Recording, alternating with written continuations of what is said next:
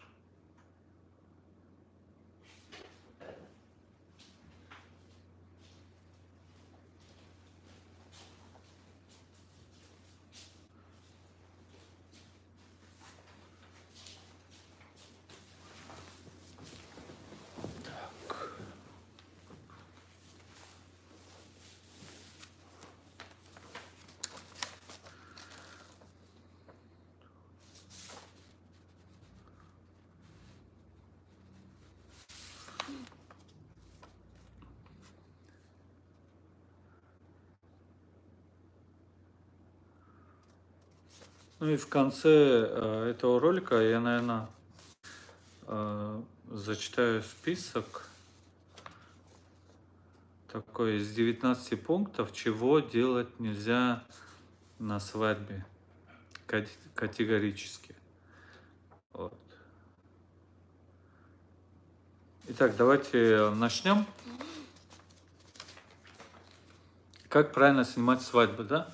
Многим кажется, что приехав или придя на съемочную площадку, да, можно начинать снимать э, с того места, ну, куда вы пришли. Допустим, вы заехали там, пришли к невесте домой, и вы начинаете прямо у невесты дома, да. Вы пришли там в банкетный зал, и вы начинаете прямо в банкетном зале, да. Э, иногда все не так просто и очевидно, как э, это кажется, да? Потому что я вот сейчас несколько свадеб смонтировал, чужих, вот, и э, съемка, очередная съемка началась прямо с невесты. Невеста готовая с детьми стоит, и первый кадр оператора – это готовая невеста с детьми. Вот как это монтировать, я не знаю. Абсолютно не знаю, как это монтировать.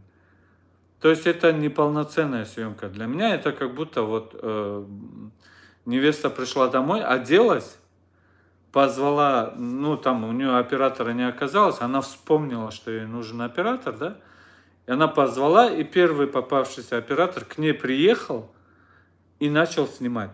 Вот это похоже на вот эту съемку, да.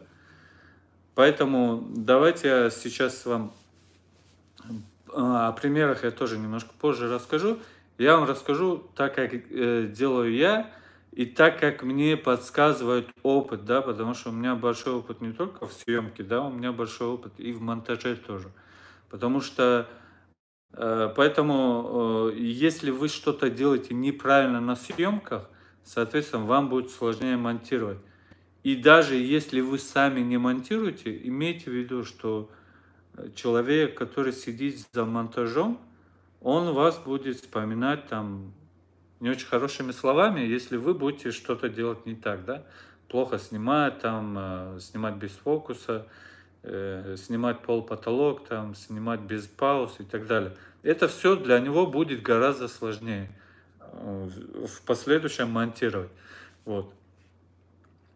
Поэтому вот я сейчас коротко опишу э, сам процесс съемки, э, которого я придерживаюсь, да, где бы я ни был, какую бы свадьбу я ни снимал, и я вам рекомендую тоже придерживаться вот этого минимального э, списка условий, да, которые нужно учитывать, э, придя на свадьбу. Самое первое, это вы должны прийти вовремя. Это очень важно. Э, это подчеркивает компетентность, э, вашу компетентность вот именно в этом вопросе. Вообще, э, приход вовремя, это очень много говорит не только о вас, как там о профессионале, да, но и о том, какой вы человек просто. Не видеограф, а какой вы просто человек, ответственный или нет. То есть вот по, именно по этому одному параметру Э, о вас можно составить характеристику, вы ответственный человек или нет. Это очень важно, и э, многие люди, многие люди, да, особенно те, которые тоже ответственные, которые приходят вовремя, они эти э, нюансы часто подмечают. То есть они сразу делают на этом акцент. Соответственно, и я тоже, да, я, ну, практически всегда я прихожу вовремя, даже заранее на, на час, там, на полтора могу прийти а, раньше, чем а, меня позвали. Вот. И если мои видеографы вовремя не приходят на съемку, то ну, у нас рано или поздно будет какой-то конфликт, потому что я не люблю, когда мои видеографы опаздывают на съемку. То есть у меня есть конкретное время, и э, даже ну, с учетом начала свадьбы я могу за полтора часа сказать видеографу, чтобы он пришел, допустим, свадьба там в 12 начинается, я говорю, что в 10.30 он был в зале.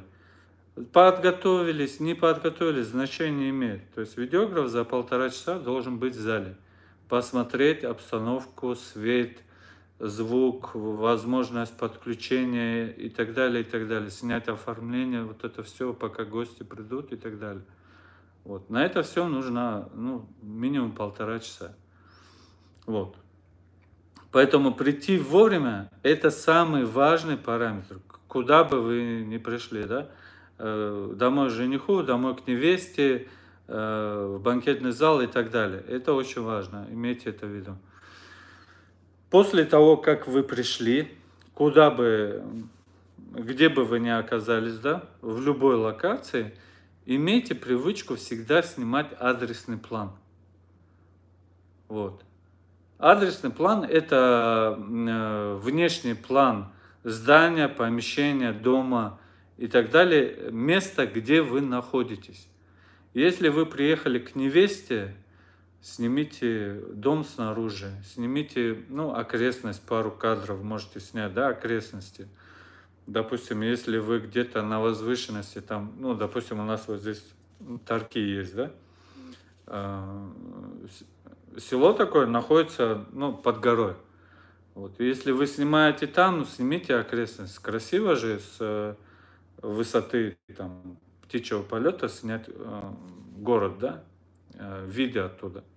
Вот. Поэтому снимаем адресный план, если это квартирный дом, без разницы, это частный дом, там, трехэтажный, там, допустим, а, дом олигархов, не олигархов, это не имеет значения абсолютно никакого. У вас есть план, вот вы по нему и снимаете, да? Понятно, что, допустим, многоквартирный какой-то советской постройки дом, вы не будете, не будете там 15 кадров разных ракурсов снимать, да? А если это какой-то дом покрасивее, можно там какие-то детальки поснимать, чуть э, задержаться на этом этапе.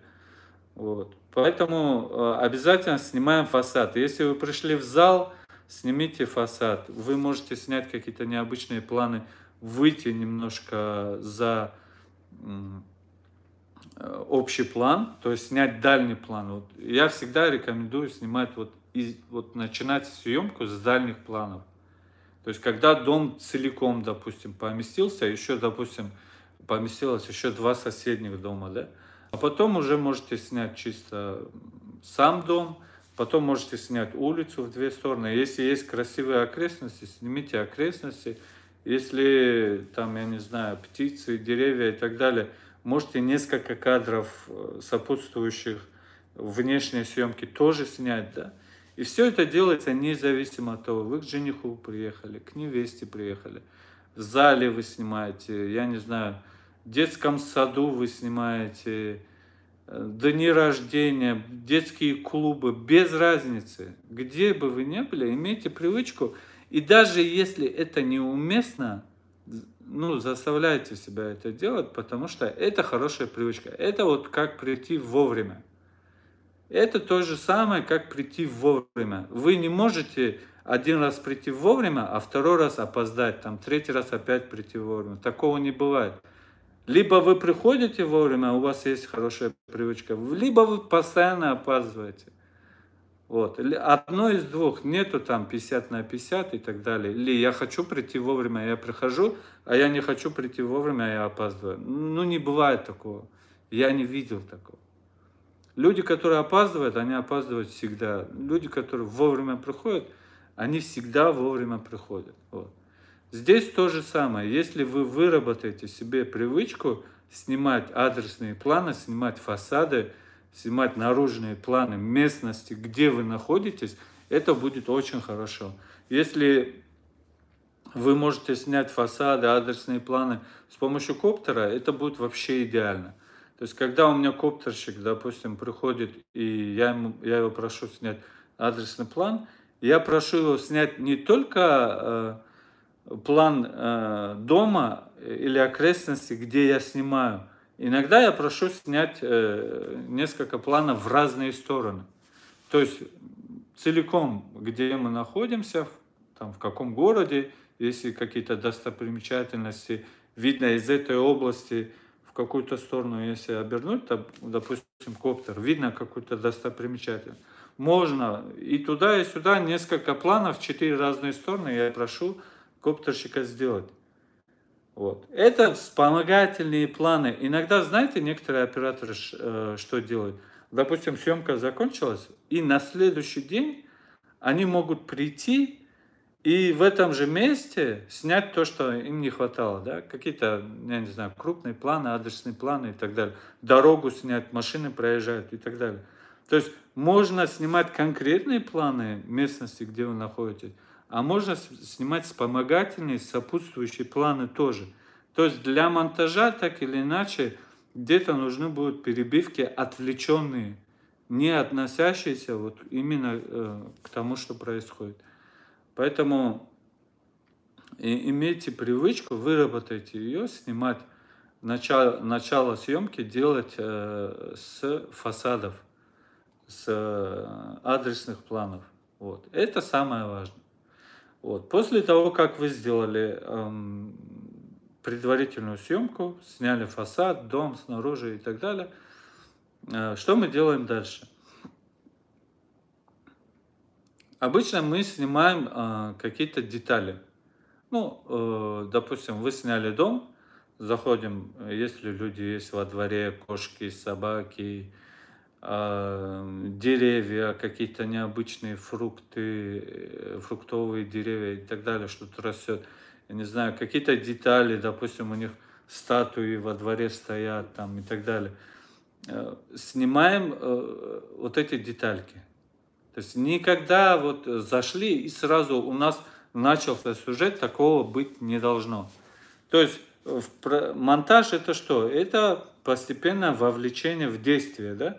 То есть мы показываем наше видео и вовлекаем э, смотрящего, да, кто будет смотреть нашу съемку, в действие. Никогда это сразу не происходит. То есть, чтобы у вас э, ваша съемка не начиналась сразу с невесты, потому что, ну, это выглядит глупо, да? Трейлер можно начать с невесты, я не знаю, Инстаграм, э, какой-то рилс можно начать сразу с невесты, Но когда у вас съемка сразу с первого кадра начинается с невесты, ну это ваша просто некомпетентность. Это ваша некомпетентность. Поэтому всегда э, научитесь делать, э, подавать видео порционно, да, то есть поэтапно. Не разворачивайте, не показывайте сразу все. То есть нет никакой загадки, нет никакого интереса в том, чтобы сразу увидеть невесту там одетого или одетого жениха там и так далее. Вот. Э, оставляйте э, немножко, ну, заставляйте человека заинтересоваться, заинтриговать его, да, своей съемкой. Поэтому показываем фасад, переходим, начинаем снимать детали. Э, какие детали мы снимаем, допустим, в зале? В зале детали мы снимаем, это оформление. То есть с помощью различных камер, допустим, камера на кране, камера на стедикаме и э, обычная камера с моноподом, мы снимаем просто оформление зала. То есть не э, с фасадом мы сразу на гостей не переходим, потому что так не бывает. Вот, с фасада мы переходим на оформление, поэтому мы должны прийти заранее, до того, как гости появятся в зале, и снимаем оформление. Оформление снимаем, э, как я уже сказал, разными планами с разных типов устройств, с разных камер. Это может быть там стедикам, кран, а, оператор на слайдере и оператор на моноподе. То же самое, то же самое мы делаем дома. Что мы снимаем дома? Вы пришли домой, сняли фасад, снимаем двор, заходим, если есть красивые комнаты, библиотека какая-то и так далее, и так далее. Все снимаем, а, все, что есть.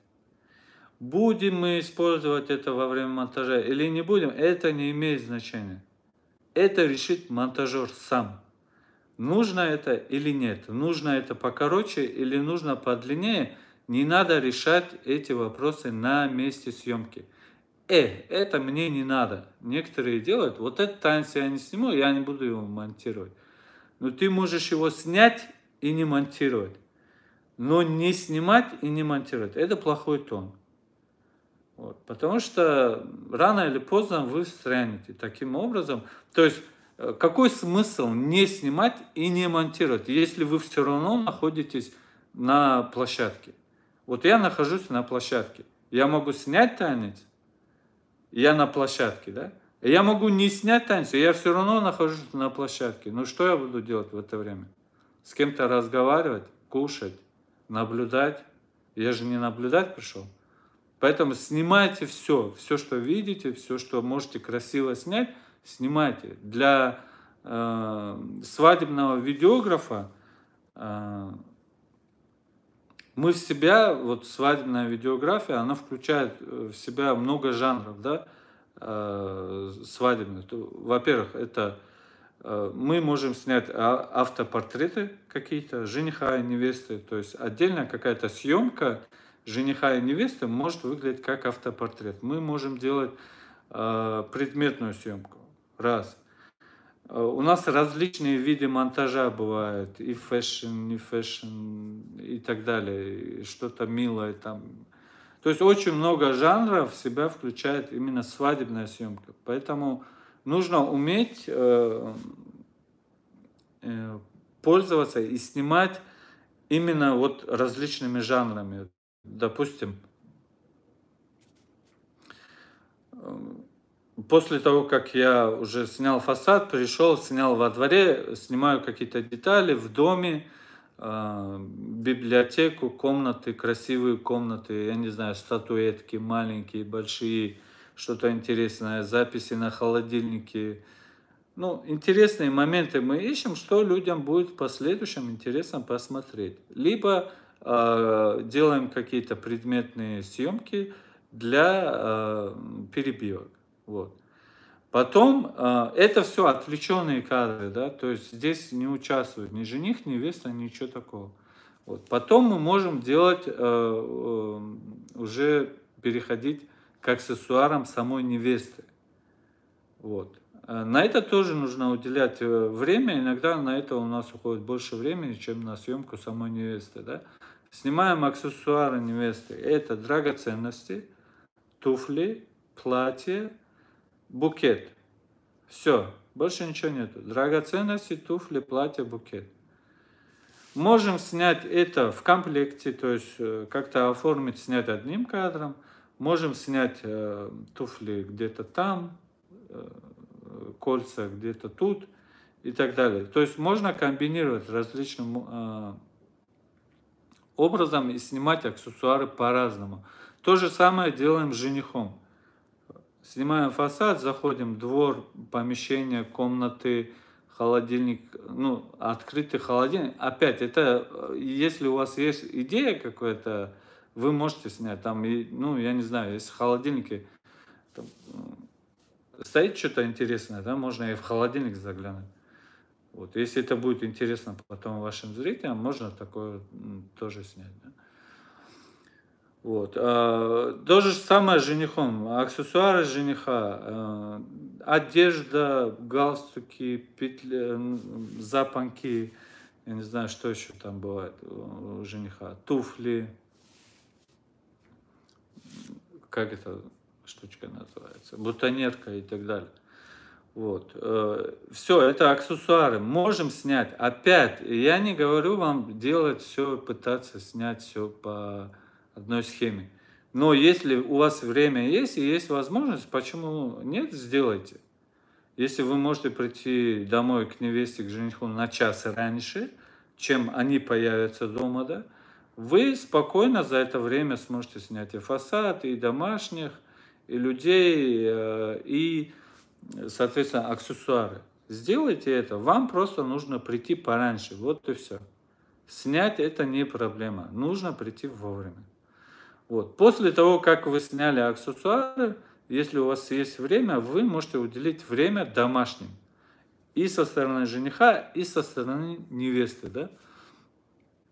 То есть, если есть бабушка, если есть отец, э, мать, братья, сестры, уделите им какое-то время съемки. Да? Э, многие заблуждаются и начинают и заканчивают съемку у невесты или у жениха только на невесте и женихе. Это неправильно. Мы снимаем свадьбу. Свадьба – это семейный праздник. Семейный праздник. В этом слове уже кроется вот этот весь сюжет. Вы должны снять всю семью. То есть номер один – это не невеста и не жених. Это семья. Делайте акцент на семье, потому что если вам, э, допустим, если вам не платит только невеста, и она не сказала, что мне плевать на своих родственников, я не хочу их видеть, снимайте только меня, только в этом случае вы можете снимать только невесту. Вот. Во всех остальных случаях это семейный праздник, поэтому у вас видео должны быть все. Да, вы можете снять красиво это. Вы можете снять это некрасиво, со светом, без света, криво, косо, но вы должны снять всех, кто есть дома. Вот. А, понятно, там может быть троюродные, четверюродные и так далее родственники, на них сильного акцента делать не стоит. Вот. Но на домашних акцент нужно сделать. То есть один, два, три раза должны все попасть. Не обязательно, чтобы они все были одеты с иголочки, уже готовы выйти из дома. То есть, если вы пришли домой в 9 часов, а свадьба начинается в 2, наверняка никаких готовых там а, к выходу людей еще не будет, кроме там жениха, невесты и его друзей. Да? Наверняка. Поэтому э, будут в халате папа, мама там, и так далее. Если они не стесняются, вы можете делать какие-то отвлеченные кадры. Понятно, что э, эта репортажная съемка должна смотреться красиво, да? Смотреться красиво. То есть никогда там отец там одну штанину надел и там бегает по комнате, пытается вторую одеть, да? Или там кто-то обернут в полотенце, бежит с одной комнаты в другую, или спотыкается, там еще что-то, да? Нет, все должно выглядеть э, нормально. Чтобы это потом э, в семейном кругу можно было посмотреть, и это было нормально. То есть вы можете снять, как э, отец одевается, или, я не знаю, как они утренне завтракают, чай пьют. Ну, бывает, у разных людей по-разному бывает. Я иногда снимаю, как они завтракают. Ну, они не стесняются, я снимаю, да. Там чай пьют, э, пожалуйста. Или там какие-то гости пришли утром поздравить и так далее, что-то принесли, пожалуйста, тоже снимайте. Если у них фуршет какой-то дома готовится, да, Э, к встрече там жениха или невесты, у армян особенно часто бывает фуршет домашний. Они ну, украшают какой-то стол красиво, да? Оформление дома, если бывает, обязательно надо снимать это дело. Вообще на все, э, все на что потрачены какие-то деньги э, в честь свадьбы, вот это нужно, на этом нужно делать акцент. Если красиво оформленную машину, обязательно 5-6 кадров красиво оформленной машины снимите. Если лестницу оформили, двор и так далее, обязательно несколько кадров, желательно без людей, пусть это будет без людей сначала, а потом вы уже можете сделать кадр там, с шофером, с, э, допустим, э, сестрой э, жениха или невесты на фоне оформления и так далее. Без разницы. То есть сначала снимите просто вот эту красоту, потом уже можно включать а, в этот кадр там людей и так далее. Вот. То есть снимаем фасад, переходим, снимаем детали, потом э, переходим на аксессуары жениха и невесты. Соответственно, потом вы уже можете включать в этот план э, и жениха, и невесту. Вот. То есть смотрите, какой длинный путь Иногда вот на съемку, допустим, аксессуаров у нас может уйти на съемку красиво, э, на, на э, красивую съемку аксессуаров у нас может уйти час-полтора. То есть мы там с макриками, с э, доли там, и так далее, ну, ищем красивые локации, чтобы аксессуары выглядели ну, красиво. Не просто там кинул на стол и снял, да, а сделал что-то необычное, чтобы задний план красиво размыто был и так далее. Вот. И э, иногда на съемку аксессуаров у нас уходит ну, очень много времени. Вот. Очень мало кто заморачивается над этим, но, но, вот я могу сказать, что 99% здесь у местных операторов вообще аксессуары не снимают. Вообще. Хотя я где-то фразу такую слышал, эм, что профессионализм съемки и фотографа, и видеографа, э, он виден по съемке деталей, по съемке деталей, когда э, ну, оценка именно делается на съемке вот таких э, мелких вещей. Да? Не людей, Э, там в 3-4 или э, общие какие-то кадры, а именно на съемках деталей ты видишь, насколько человек разбирается вот на макроуровне, да, как он снимает э, детальки, кольца, там, платья и так далее. То есть понимает человек что-то в этом хорошо или нет, да. Вот, поэтому, если вы к себя, себя к этому приучите, к съемке деталей, да, у вас откроется э, третий глаз на съемку предметную. То есть вы сможете спокойно работать уже с предметной съемкой. Да, есть, конечно, предметная съемка сложная, такая как э, ювелирная, снимать ювелирные украшения. Есть предметная съемка попроще, да, Э, снимать, э, допустим, какие-то платья, сапоги, туфли и так далее. Я имею в виду коммерческая предметная съемка для каких-то сайтов и так далее. То есть, если вы включите в свою свадебную съемку предметную съемку, то вам будет проще работать где-то там на стороне, э, вообще по другой тематике, по предметной. Вот. Вы тоже будете в этом разбираться. Вот. А что мы делаем а, после съемки аксессуара? Мы снимаем невесту. Понятно, а, с невестой. Теперь смотрите, как мы снимаем невесту. В любом месте, где, на любом уровне, где бы вы ни находились, всегда э, вслед за нами идет многоплановая съемка. Многоплановая съемка. Вот э, если, допустим, вы смотрели крупность планов, мое видео, посмотрите его еще раз. Там есть 6 видов планов по э, Соколову. Да? Дальний, общий, второй средний, первый средний, крупный и деталь. Если на, во время любого сюжета, любого, допустим, вы снимаете фасад, если вы 6 планов на фасаде снимете, круто. И, допустим, вы снимаете аксессуары, ну, а с аксессуарами чуть сложнее бывает. Вы снимаете, допустим, невеста одевается, да? Ну, допустим, ей завязывают там сзади платье. Или там одевают украшения. Если вы снимете 6 планов, вот именно этого сюжета, как ее одевают, да? 6 планов, если вы снимете, пока ее одевают, это будет просто круто. То есть начинаете с дальнего, где-то вдали она там в двери кто-то к ней подходит, что-то, потом начинаете с общего, потом ростовой, потом второй средний, первый средний. Понятно, что не все с одной линии, да. Мы перемещаемся и э, меняем крупность плана. Вот.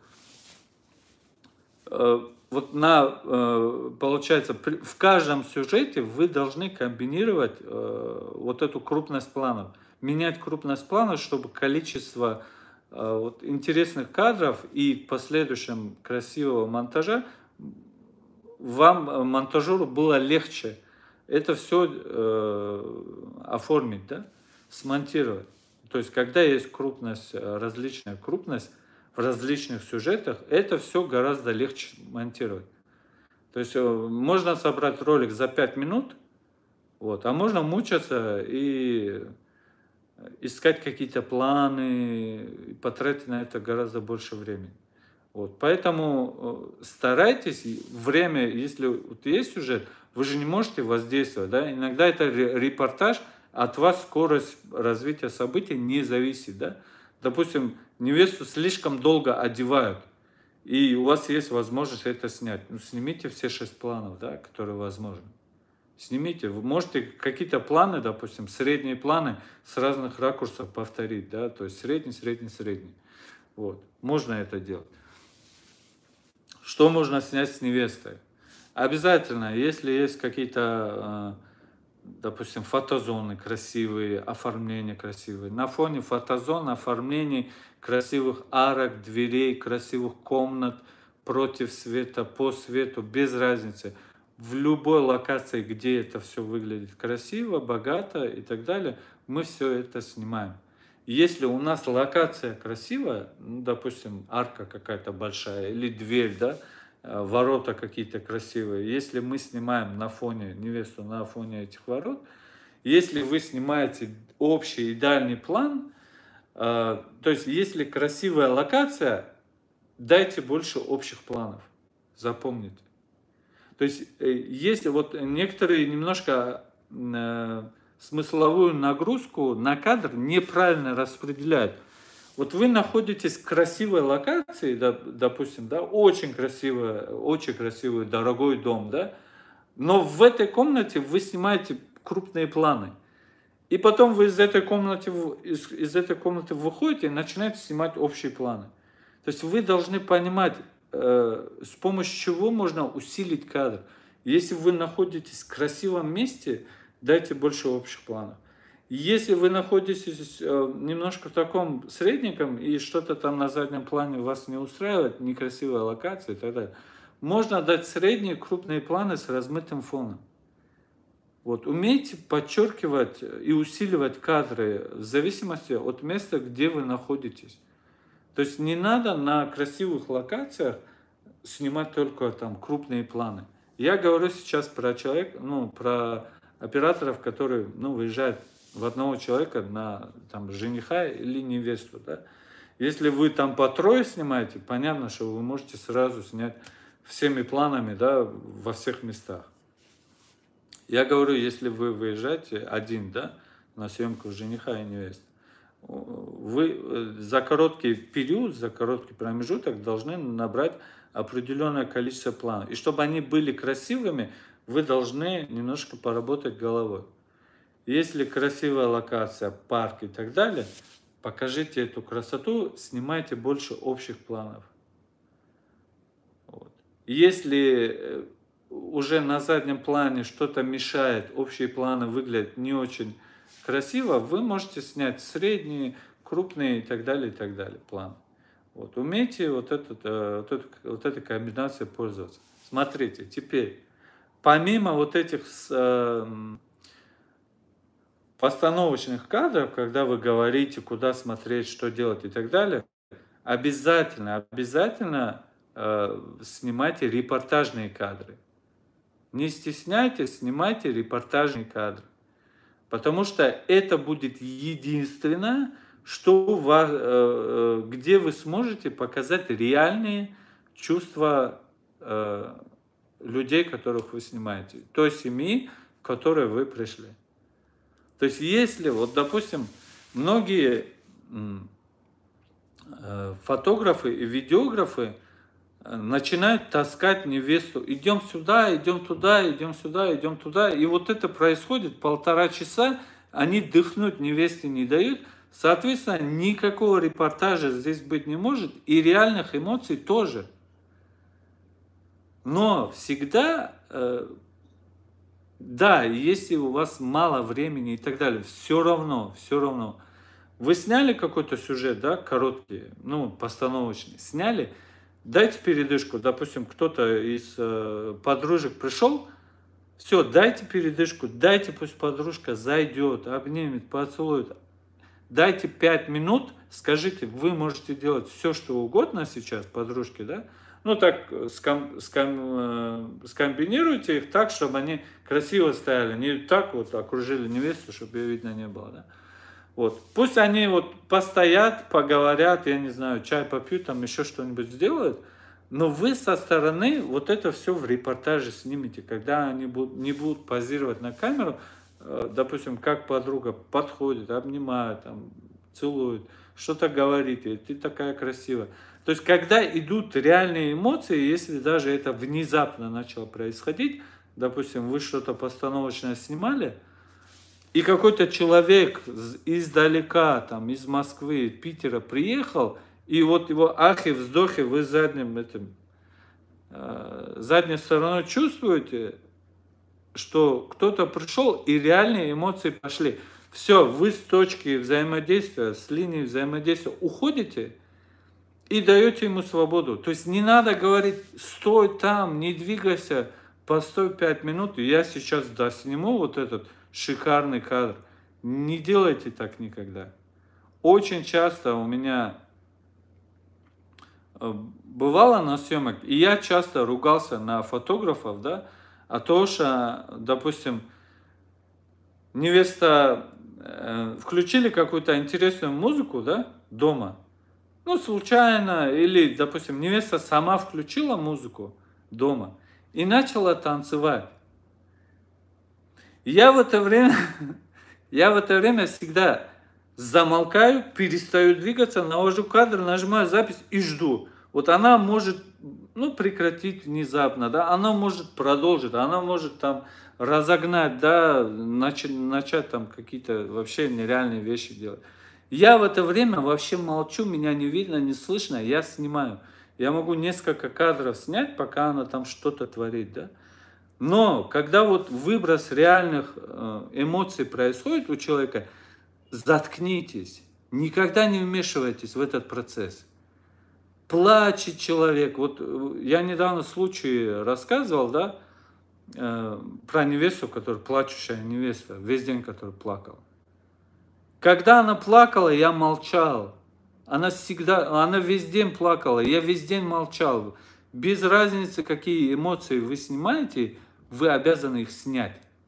Если человек начинает громко хохотать, если он начинает внезапно смеяться, ругаться, без разницы. У нас была невеста, которая матом крыла всех. Несколько, несколько кадров у нас есть. Ну, да, понятно, что это неэтично и так далее. Но опять, ты не знаешь, что она скажет. Ты не знаешь. И что ты потом сможешь использовать, ты тоже не знаешь. Но снять это ты должен. любые эмоции, любые проявления эмоций вы должны снять.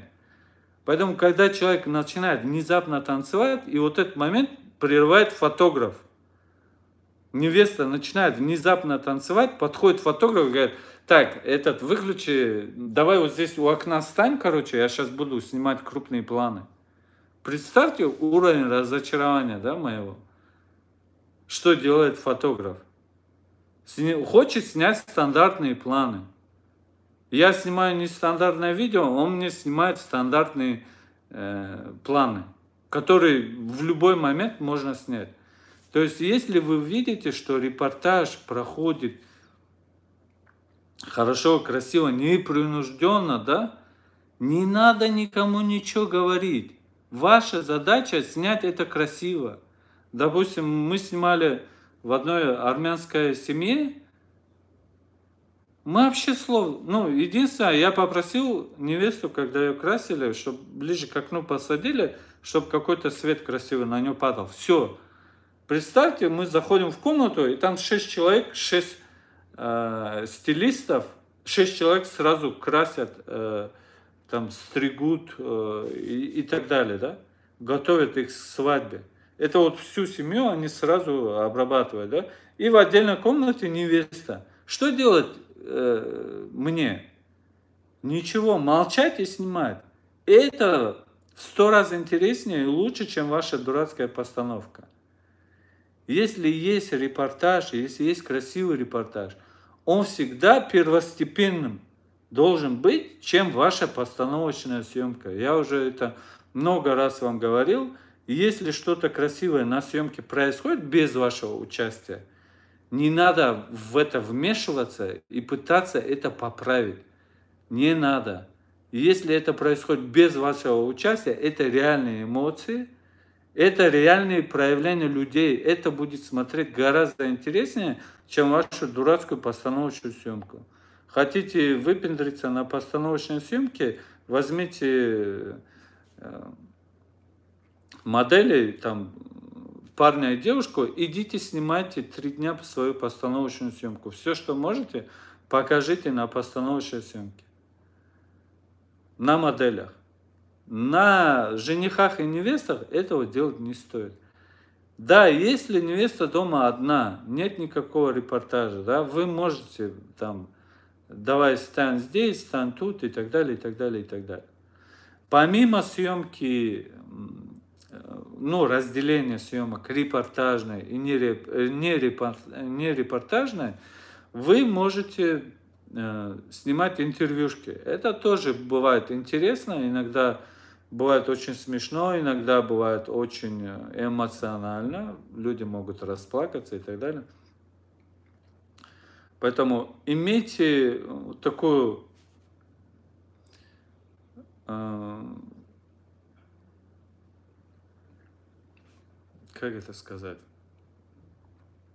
Имейте в голове вот такой пунктик, да, что любая съемка, любая съемка, любую съемку можно улучшить, э, либо разбавить интервью с помощью интервью, по желанию и так далее. Лучше будет, если это будет интервью, да.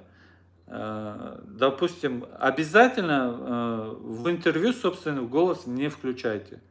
То есть научитесь задавать вопросы так, чтобы в ответах уже звучал вопрос ваш. То есть, чтобы вашего вопроса слышно не было, и чтобы в ответе человека, который будет отвечать, был уже заключен этот вопрос. Допустим, вы хотите спросить э, там невесту и снимаете интервью у невесты, да, как вы познакомились, э, чтобы она не начинала там он подошел, ну, он подошел и так далее ко мне, чтобы она начала, мы познакомились тогда-то, тогда-то, да.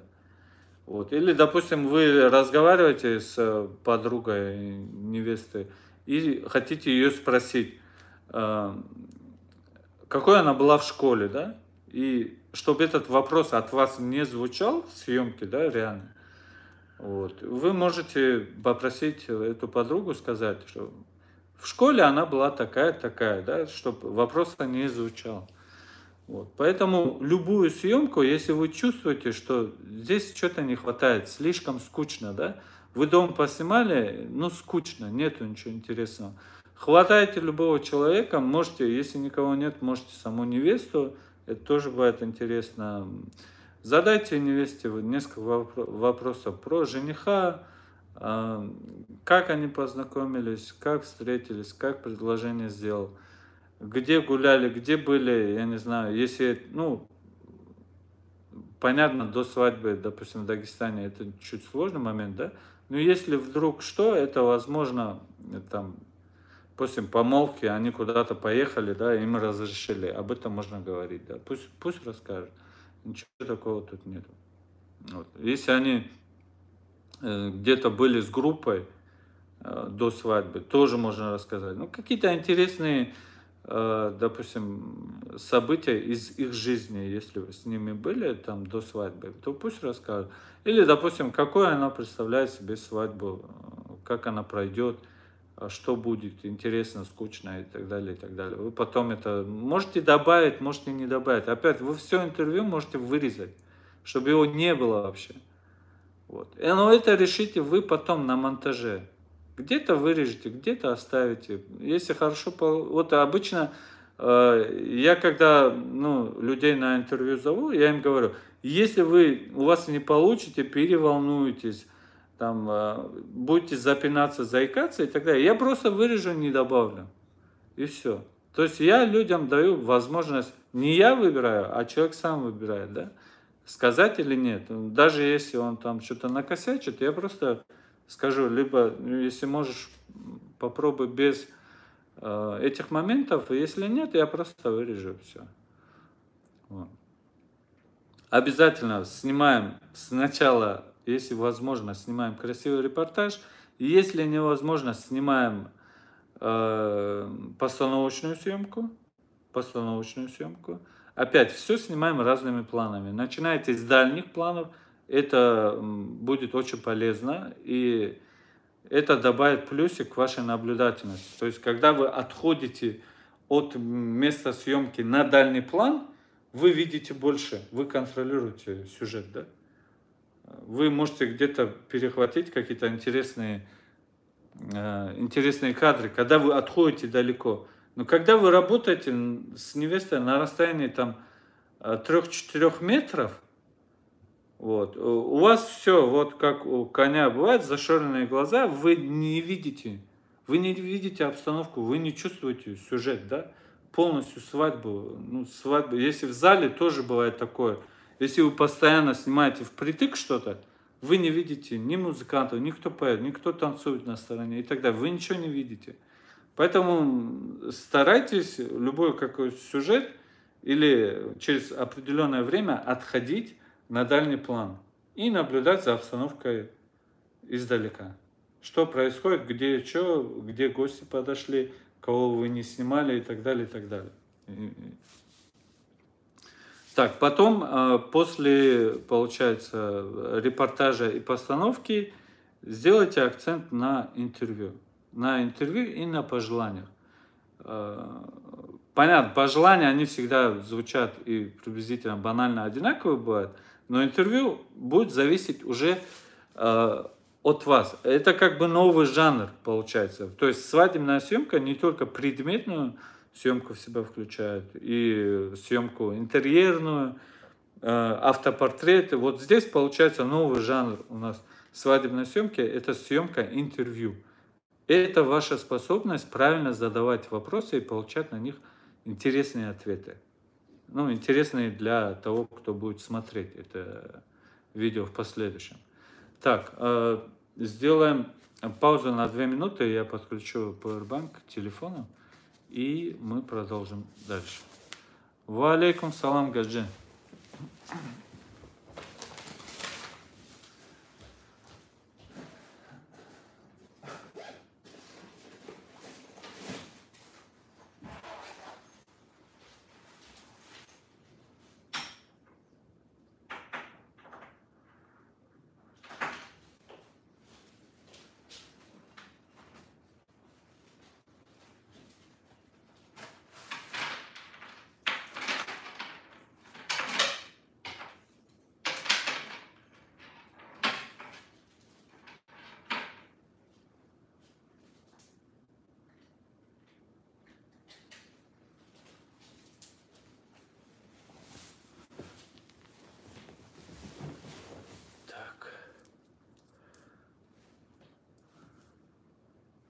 Райсат, привет.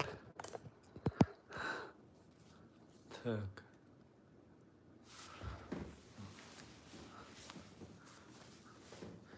Да, кстати, э, сейчас как раз девушка написала, им почему-то у меня в голове всплыло, всплыли, всплыли фотографы.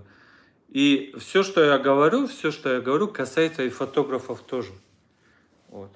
Это абсолютно не э, план работы только для видеографов. Это касается и фотографов, которые чаще всего э, точно так же, точно так же могут начать первый кадр с невесты. Это практически все фотографы такие, насколько вот у меня на памяти есть. Э, видеографы всегда раньше приходили, чем фотографы. Всегда. То есть фотографы себе позволяют там опоздать, не прийти вовремя, прийти, когда уже невеста дома готовая. То есть никто из фотографов не задумывается над тем, что нужно прийти, снять дом, семью, я не знаю, что-то красивое. То есть это же история. Это не история одной невесты. Это не история одного человека на свадьбе. Это история семейная. Никто не делает акцент на семье. Они, им, ну, фотографам кажется, что если они сделают один кадр э, папа, мама, невеста, что вот это их история. Это не история. История – это когда вы планомерно передаете сюжет. Ну, у видеографов это немножко выглядит э, правильнее, потому что там видео, все, эмоции передаются и так далее.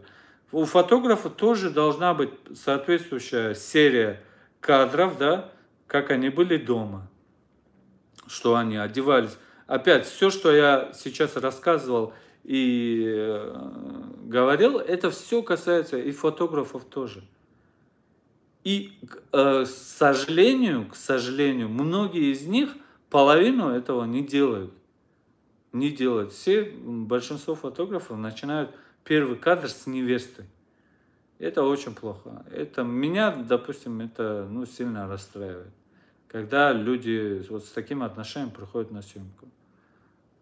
Я бы не хотел, допустим, чтобы, ну, допустим, на свадьбу моей дочери или там сына, да, пришел фотограф, когда уже все готовы, все, и собрались выходить из дома. Причем клиент, клиент не понимает, как сделать красивую съемку и так далее. То есть, если вы клиента спросите, э, заказчика, да, когда прийти, он скажет за полчаса до выхода из дома. Но вы-то понимаете, что нужно рассказать историю, и полчаса до выхода из дома этого мало.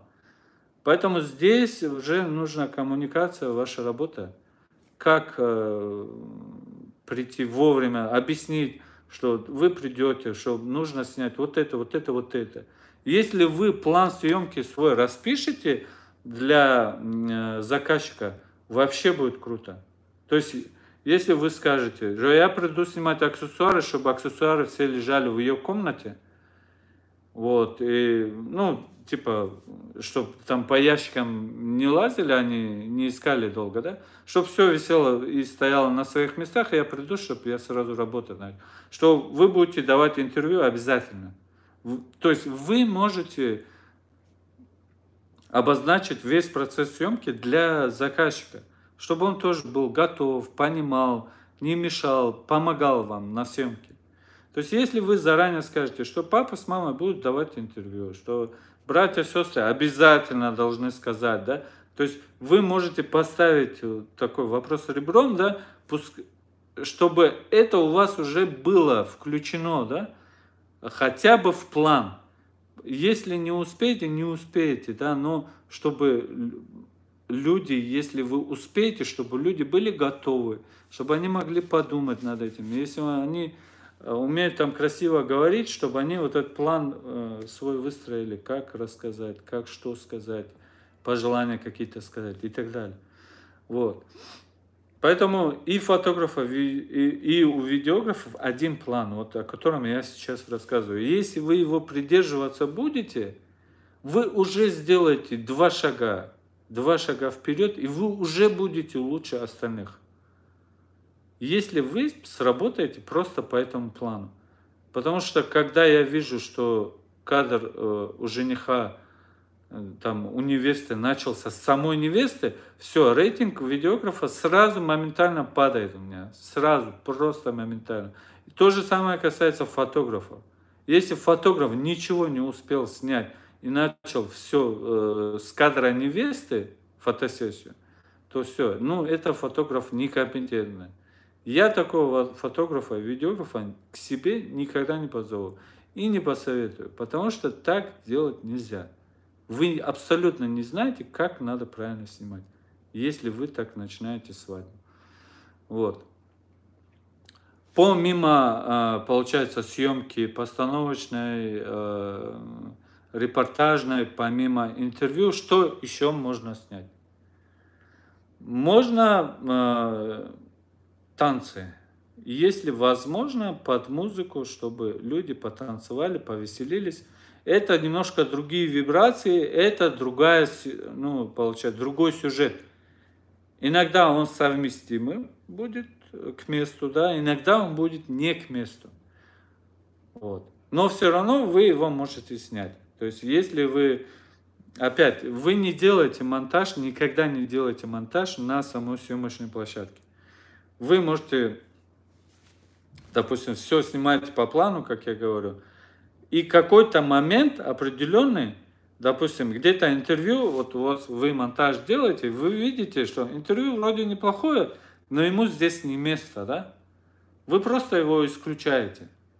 То есть монтаж, он для того и нужен, не чтобы вы все прямо бухнули и включили, да, в съемку. Вы э, э, ищете лучший вариант – видеоряда, да, какой возможен э, из того, что вы нас снимали. Или монтажник это ищет эти пути. Поэтому, так, да. Поэтому э, не делайте монтаж там на месте, снимайте. Если это возможно, снять какие-то танцы, включите музыку, снять, э, чтобы невеста танцевала с подружками, Э, родные, родственники там танцуют и так далее. Если, допустим, у меня на одной съемке бабушка пела, то есть она сначала давала интервью, и я просто спросил, петь умеете? Ну, она петь начала, и я снял, как она поет. Все. То есть, э, если бы я просто, допустим, снял интервью и ушел, этого не было бы. То есть никакого пения бабушки никто никогда бы не услышал, да? Но я спровоцировал, получается, такой сюжет, да? И э, у меня получилось. Вот. Вы можете такие забросы делать. Конечно, э, все зависит от местности и психологии вашей личной, да, умения общаться с людьми. Если, допустим, вы пришли к какому-то депутату домой, да, он достаточно серьезный человек – и вы так сдержанно с ним разговариваете, ну, там спойте что-нибудь, ему сказать, ну, не вариант, да, это глупо будет выглядеть. Поэтому все должно быть к месту. Если это легко и непринужденно люди э, с вами общаются, разговаривают, вы можете их попросить что-то сделать так же легко и непринужденно. Да?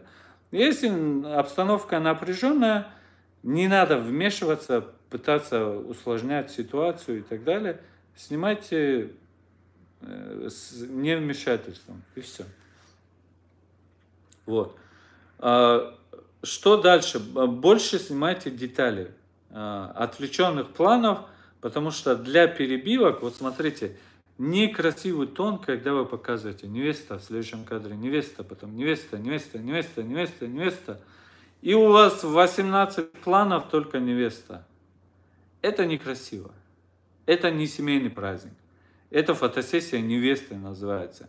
Это будет выглядеть, как будто вы взяли там модель и снимаете модель э, в какой-то локации. Вот это похоже на это. Вы на съемку модели, но не на съемку невесты, и на, не на семейный праздник.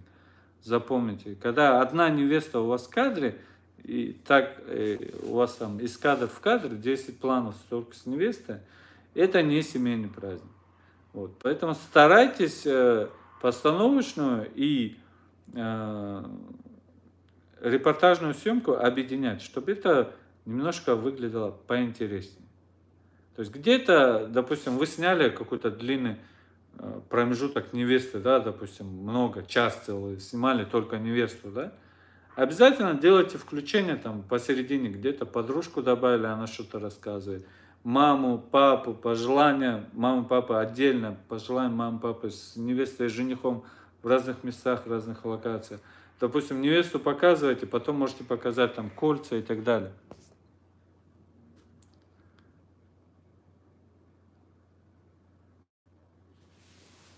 Вот. Э, все можете комбинировать и сделать из этого всего э, интересный сюжет, да?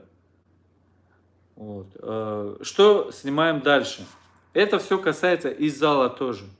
Вы пришли в зал, допустим, снимаете гостей разными планами, снимаете детали, еда, оформление, свет красивый и так далее.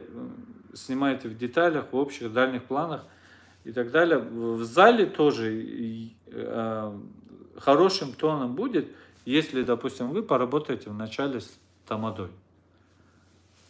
Если вы ему объясните, что вы будете, допустим, вы хотите, чтобы говорящие стояли здесь заранее, что это будет красиво, если мы будем с двух сторон снимать, что так будет лучше, что здесь свет лучше, здесь свет хуже – чтобы тамада, какие-то предварительные слова до начала праздника, даже, может быть, до прихода гостей, вам сказал что-то, импровизировал на камеру и так далее. Любые вот такие вставки интересные, э, вас э, как интервьюера, да, они будут ваши кадры усиливать. То есть, если вы научитесь правильно разговаривать с людьми и снимать их реакцию – на ваши слова. Это тоже будет интересно.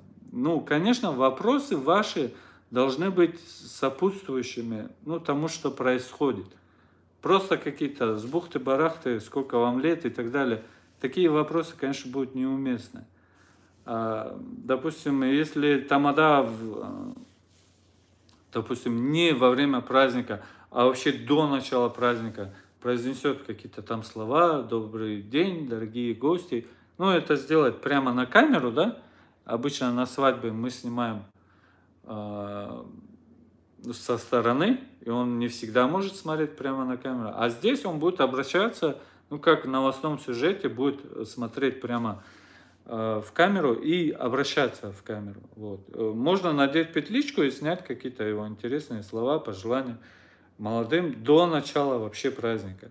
То же самое вы можете сделать с гостями. Если есть интересные гости, красивые. Ну, обычно, если есть какие-то москвичи, я знаю, что ну, они за словом карман не лезут.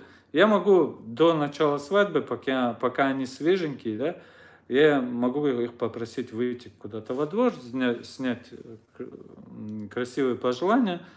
И это все сделать в красивой локации с хорошим звуком и светом. Да?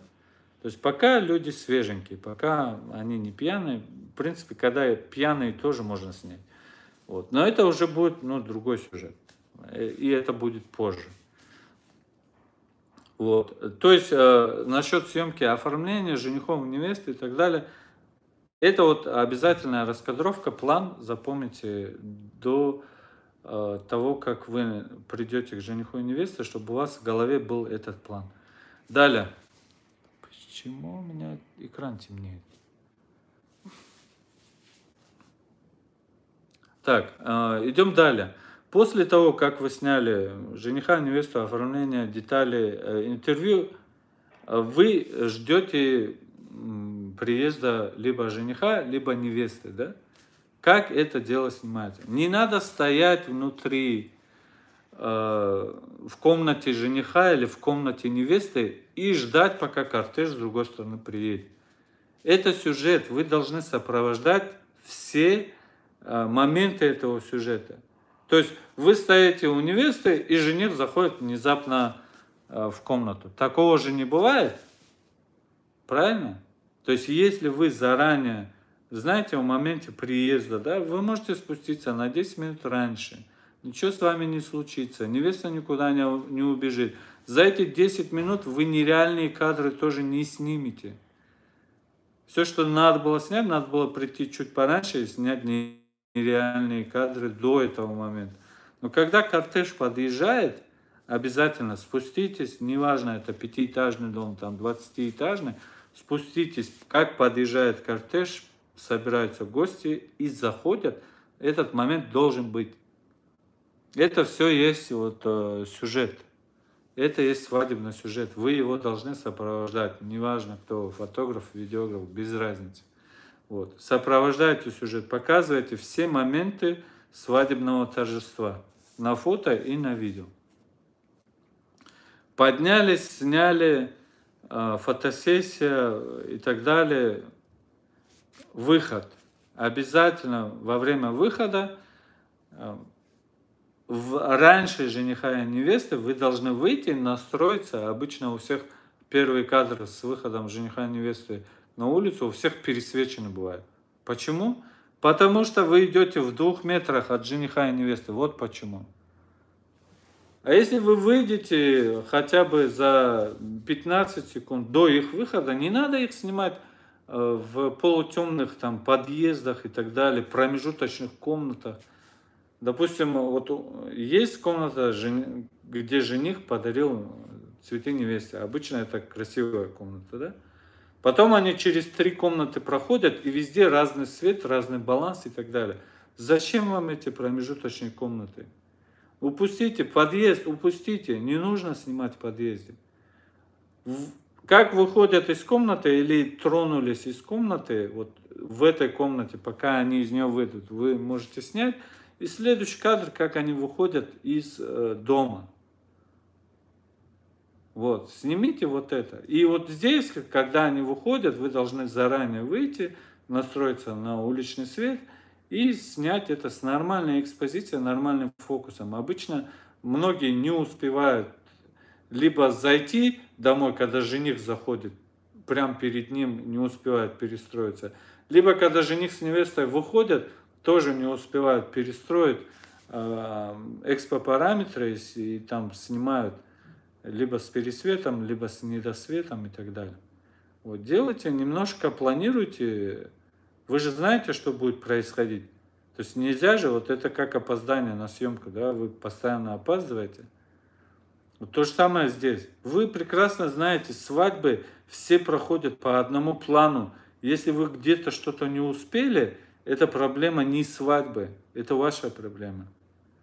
Это ваша проблема. Вы Свадьбы, они же все одинаковые, ничего нереального на свадьбах же не происходит. Внезапного тоже ничего не происходит. Вы знаете, что жених выйдет с невестой, встречайте внизу. И что жених скоро подъедет, встречайте в момент, когда он подъезжает. Все же внезапно там не происходит. Очень редко бывает, что там никто не знает, и бах, они приехали. Вот. Обычно в стандартном варианте все все знают.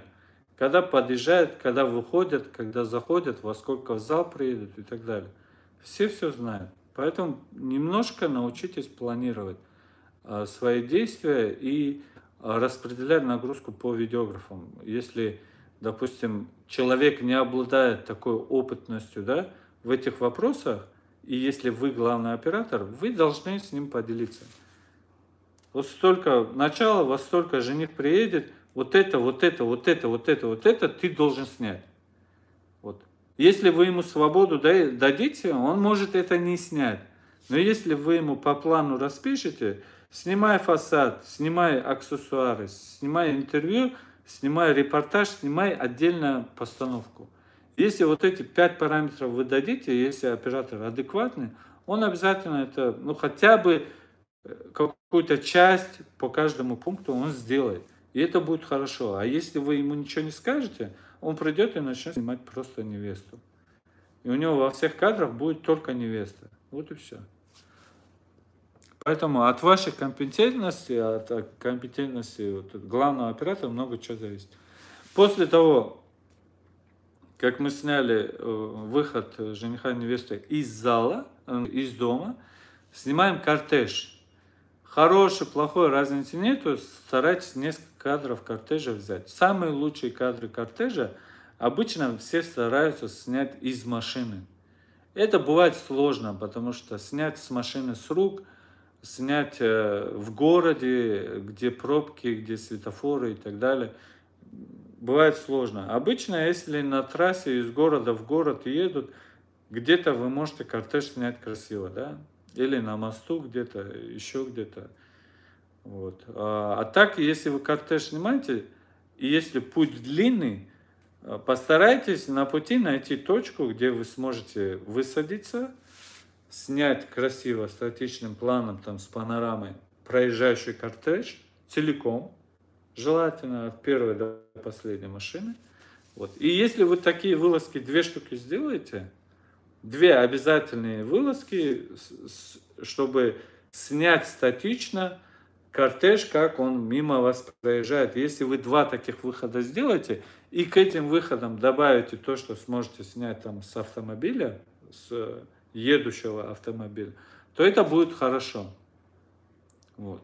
Если кортежи какие-то бывают навороченные, там 12 геликов, 15 мерседесов, там 21 Роллс-Ройсов и так далее, опять я уже говорил, если э, на чем-то клиенты сделали акцент – если они все деньги потратили на кортеж, вы должны всех операторов подключить и снять этот кортеж максимально э, круто. Вот.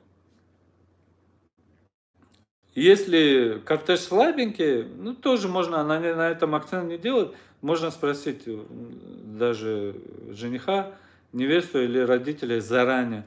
Вот стоит подробно снимать кортеж вам или нет. Да? Если им это не интересно, у них там нет оформления в кортеже, и они едут как попало, можно это и не снимать. Но обязательно, как кортеж отъезжает от дома, обязательно надо снять.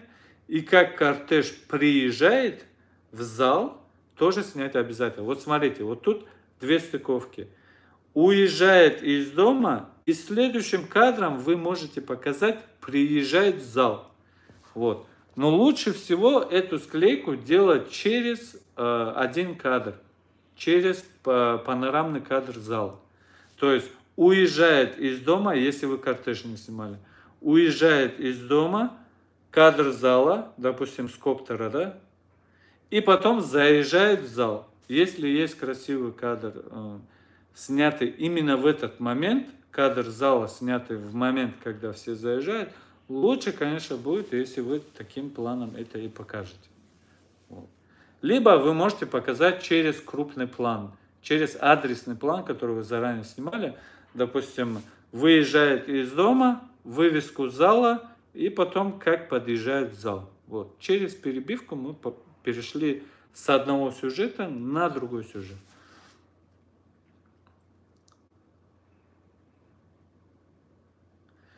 Так. Нурула Курбанова.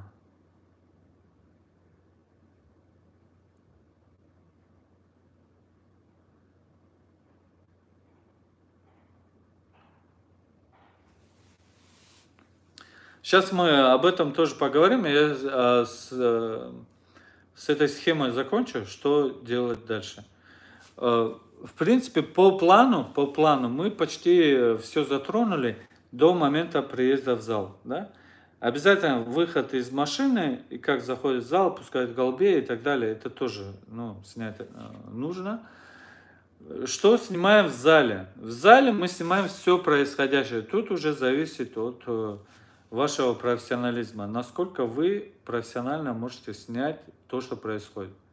То есть кто-то может трехосник на монопод кинуть и вот так ходить, в одну камеру все снимает, допустим, с танцующих на сидящих, ползала обошел, обратно на танцующих. Кто-то поднимает там, э, имитирует крановскую съемку с помощью трехосного стабилизатора. Ну, люди на все способны, так же, как и видеографы, или наоборот, да? видеографы на все способны, как и люди. Вот. А, поэтому тут уже зависит от вашей компетентности, от вашего умения, навыков, да, снимать правильно и красиво это все происходящее в зале. Вот. Так, по плану в зале, ну, план в зале от вас уже не зависит. Единственное, что нужно делать в зале, вы должны хотя бы сценарий знать происходящего приблизительно. Если сценарий утверждается предварительно и заранее, вы можете об этом узнать у клиентов до свадьбы. Если у вас какой-то сценарий, тайминг и так далее. Если есть, пожалуйста, ну, отправьте мне его в электронном виде, хочу ознакомиться. То есть вы должны знать, э, если будут там э, танцы, сколько танцев будут приблизительно, да, допустим, лезгинка, сколько танцев, в какое время, э, там какие-то выступления гостей, танцоров, других, допустим, гитаристов, музыкальный оркестр, я не знаю, ну много чего может быть на свадьбе. Вы обо всем об этом заранее узнаете, чтобы вы смогли спланировать правильную съемку, да? Чтобы для вас не было внезапным там выход ансамбля, выключение света э, и так далее, и так далее. Вы все должны знать. Допустим, какой-то певец там с Америки приехал, будет петь, да? И он начинает петь, а там ни одного оператора нет.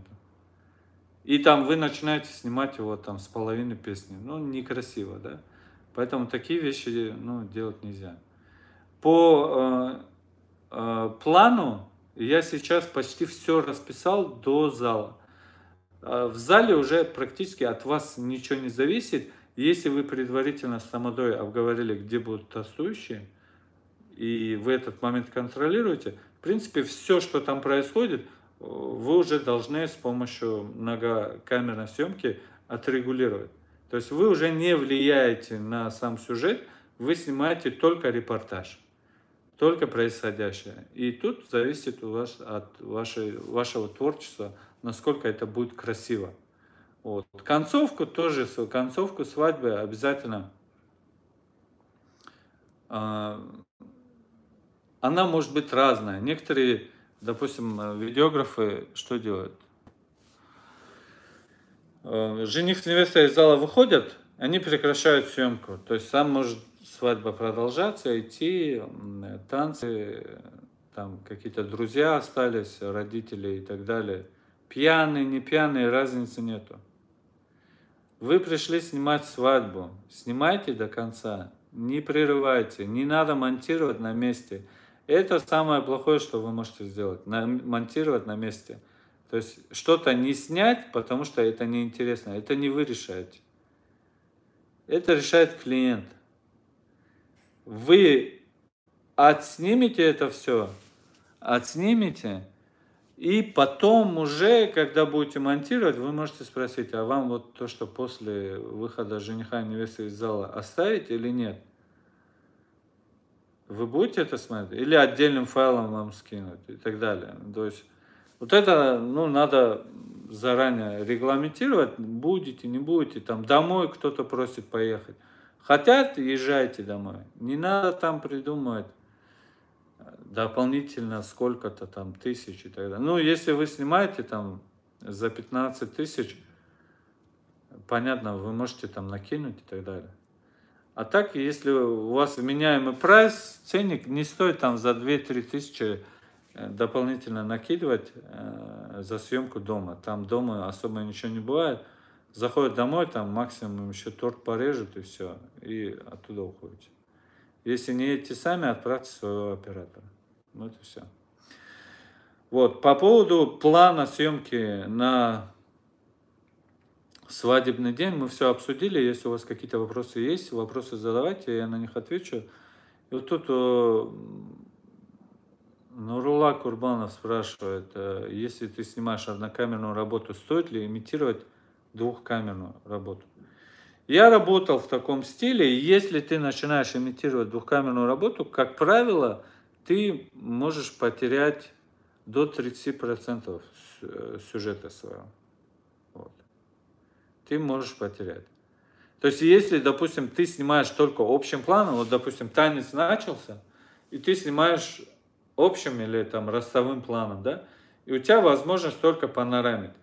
Вот, я снял весь танец, три минуты, с одной точки, не двигаясь, да. Я снял этот танец, все, у меня три минуты в монтаже, брак нету. Теперь я э, хочу имитировать двухкамерную съемку, да. Я снимаю, допустим, 40 э, секунд секунд или минуту панорамой, потом перехожу на другую точку и э, укрупняюсь и начинаю снимать э, где-то там крупные, где-то поясные планы. Вот тут мне опять нужно будет резать и сдвигать видео. Если аудио не буду резать, мне придется сдвигать э, только видео. Соответственно, общая длительность э, этой съемки уже станет короче.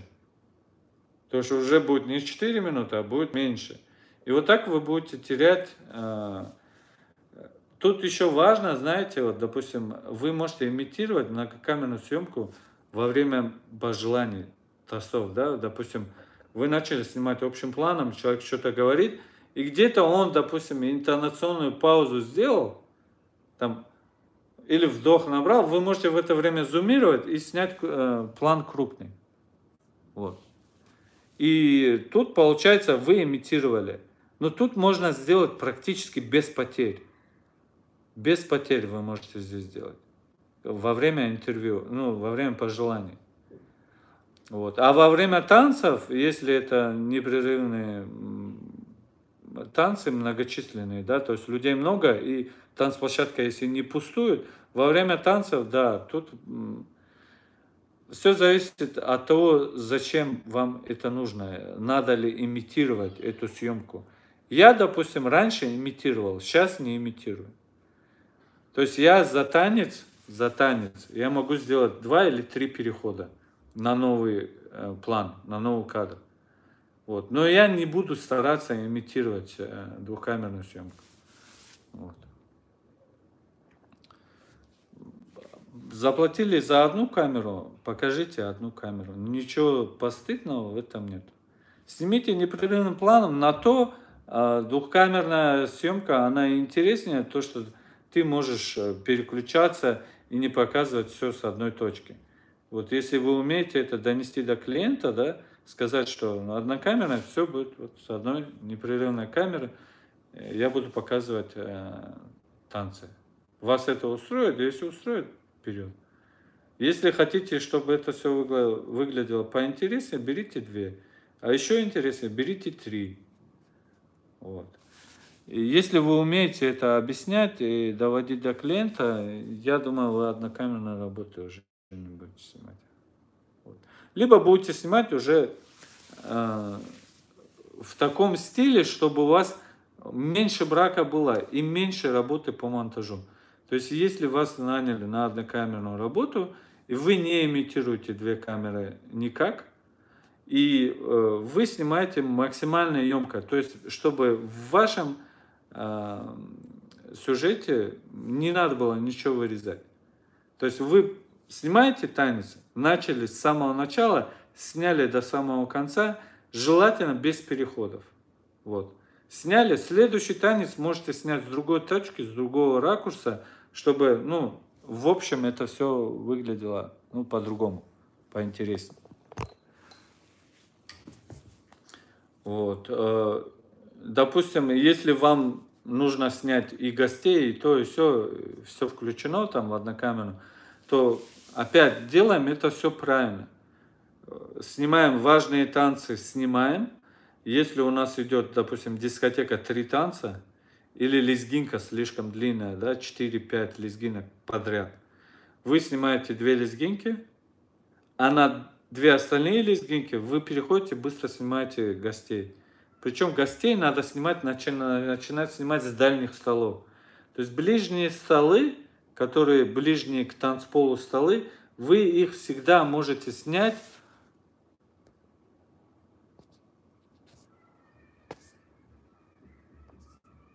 ближние к танцполу столы вы всегда можете снять во время пауз, во время тех моментов, когда э, Тамада приглашает гостей. На это же время уходит. Он там объявляет, а сейчас мы зовем там э, родственников, дядь и теть жениха, да? И пока они придут, все, э, появятся на танцплощадке, вы можете в это время ближние столы все снять. Это нужно, ну, тактика должна быть правильной съемки во время однокамерной работы. То есть, в первую очередь, снимаете дальние столы.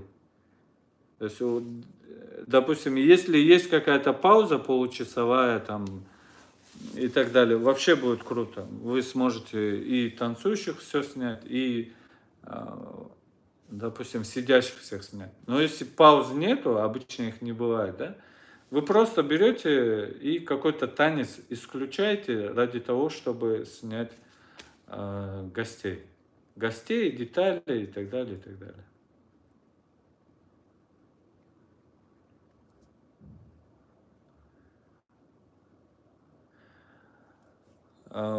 Нурик, ну, ты сейчас меня грузишь, ты хочешь все включить в один вопрос. Понятно, что гости будут такие вещи говорить. Так ты должен об этом же объяснить человеку. Что гостей ты должен снять в любом случае. В любом случае. Но ты должен предупредить. Люди, на чем делать акцент? Я всегда, когда с клиентами разговариваю, я им говорю, ну, однокамерно редко бывает, но если бывает, я говорю так. Я снимаю один, я разорваться одномоментно во все стороны не могу, говорю. Я снимаю один. Э, нужны ли вам гости, сидящие, проходящие и так далее, люди? Если нужны, я какой-то жертвую одним, двум, двумя танцами и обхожу все, снимаю гостей. Э, потом, если вы снимаете однокамерную работу, гостей не надо снимать подробно. Допустим, у меня есть дальние столы, их 16 штук, да? И мне надо снять гостей. То есть снять гостей красиво, это значит вот 2, 4, 6. У меня есть такой план съемки, да, гостей, 2, 4, 6. То есть я снимаю стол целиком, это я называю 6, целиком. Общий план стола это 6.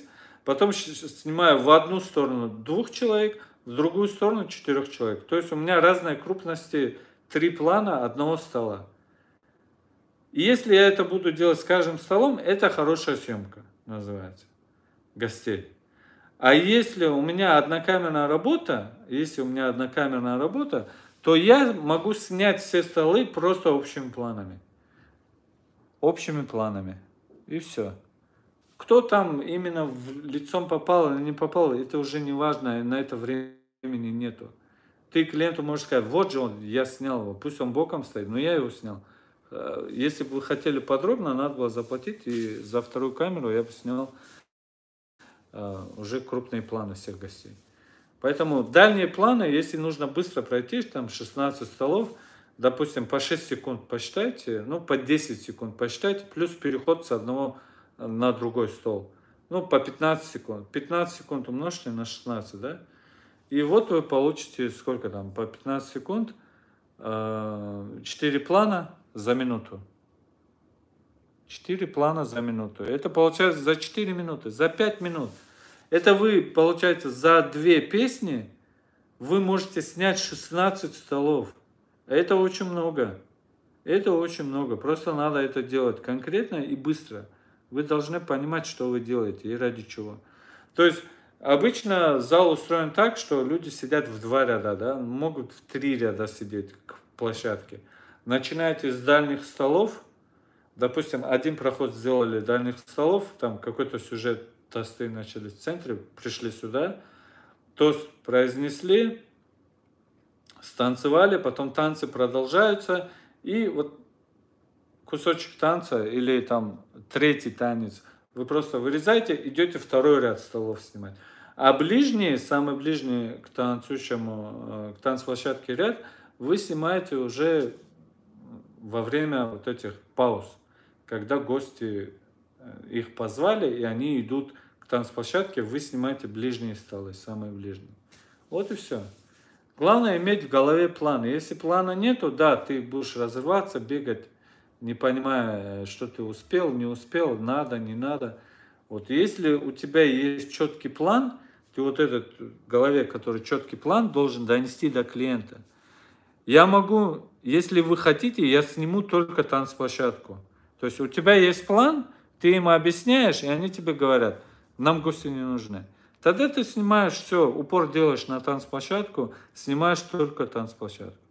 Если они говорят, мы все хотим, но при этом однокамерная работа, ты им объясняешь, все танцы абсолютно я снять не смогу, но я буду делать э, монтаж на месте, да, то есть я несколько танцев не сниму, за это время я сниму гостей, интервью, пожелания и так далее, и так далее где-нибудь во дворе.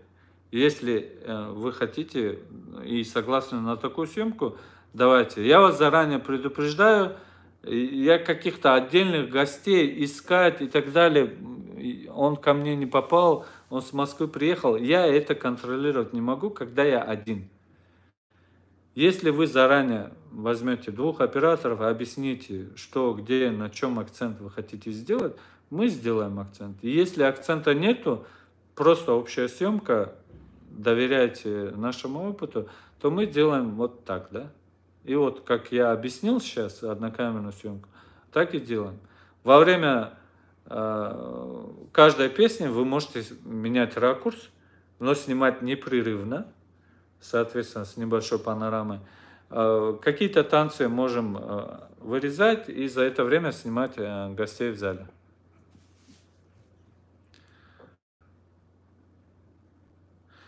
Бегущие, тамада и так далее. Вот смотрите, многие, вот я вчера монтировал одну свадьбу, вот стоит певица и вот так делает, да? А человек снимает крупный план. Ну зачем вот этот крупный план, и крупный план, получается, тоже вместе с ней вот так смещается. Но это никому не интересно смотреть. Как человек на крупном плане, вот так этот, камера за ним вот так следит, а певица вот так шатается. Не снимайте такие кадры. То есть, если человек слишком много двигается, старайтесь снять неподвижный кадр его, и все. То есть, если тамада бегает, снимайте его общим планом, и все. Чтобы вот этого не было. Чтобы вы вот так не бежали за крупным планом. Если он адекватно стоит и не двигается, ноги у него вкопаны, и он говорит, головой поворачивает, вы можете снимать крупный план.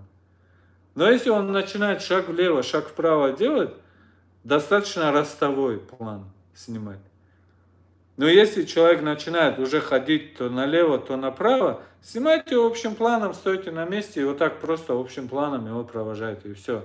Не создавайте себе лишние проблемы. Если человек адекватно не может вести себя как тамада, да, то вы не обязаны ему крупным планом э, в движении. Никому вы не обязаны. Ва, ваше дело упростить съемку. Особенно однокамерную.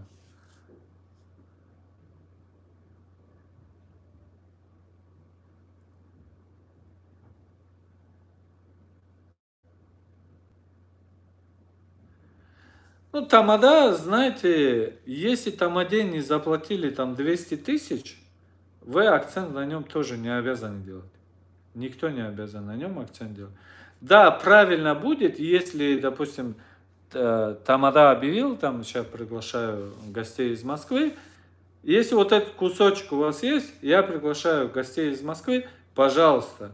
И бах, следующим кадром уже гости все стоят, вы через перебивку то есть не внезапно там я приглашаю гостей из Москвы, и следующим кадром сразу э, там 16 человек на площадке стоят и начинают говорить. Нет, так не надо делать. Хотя бы через одну или через две перебивки, да.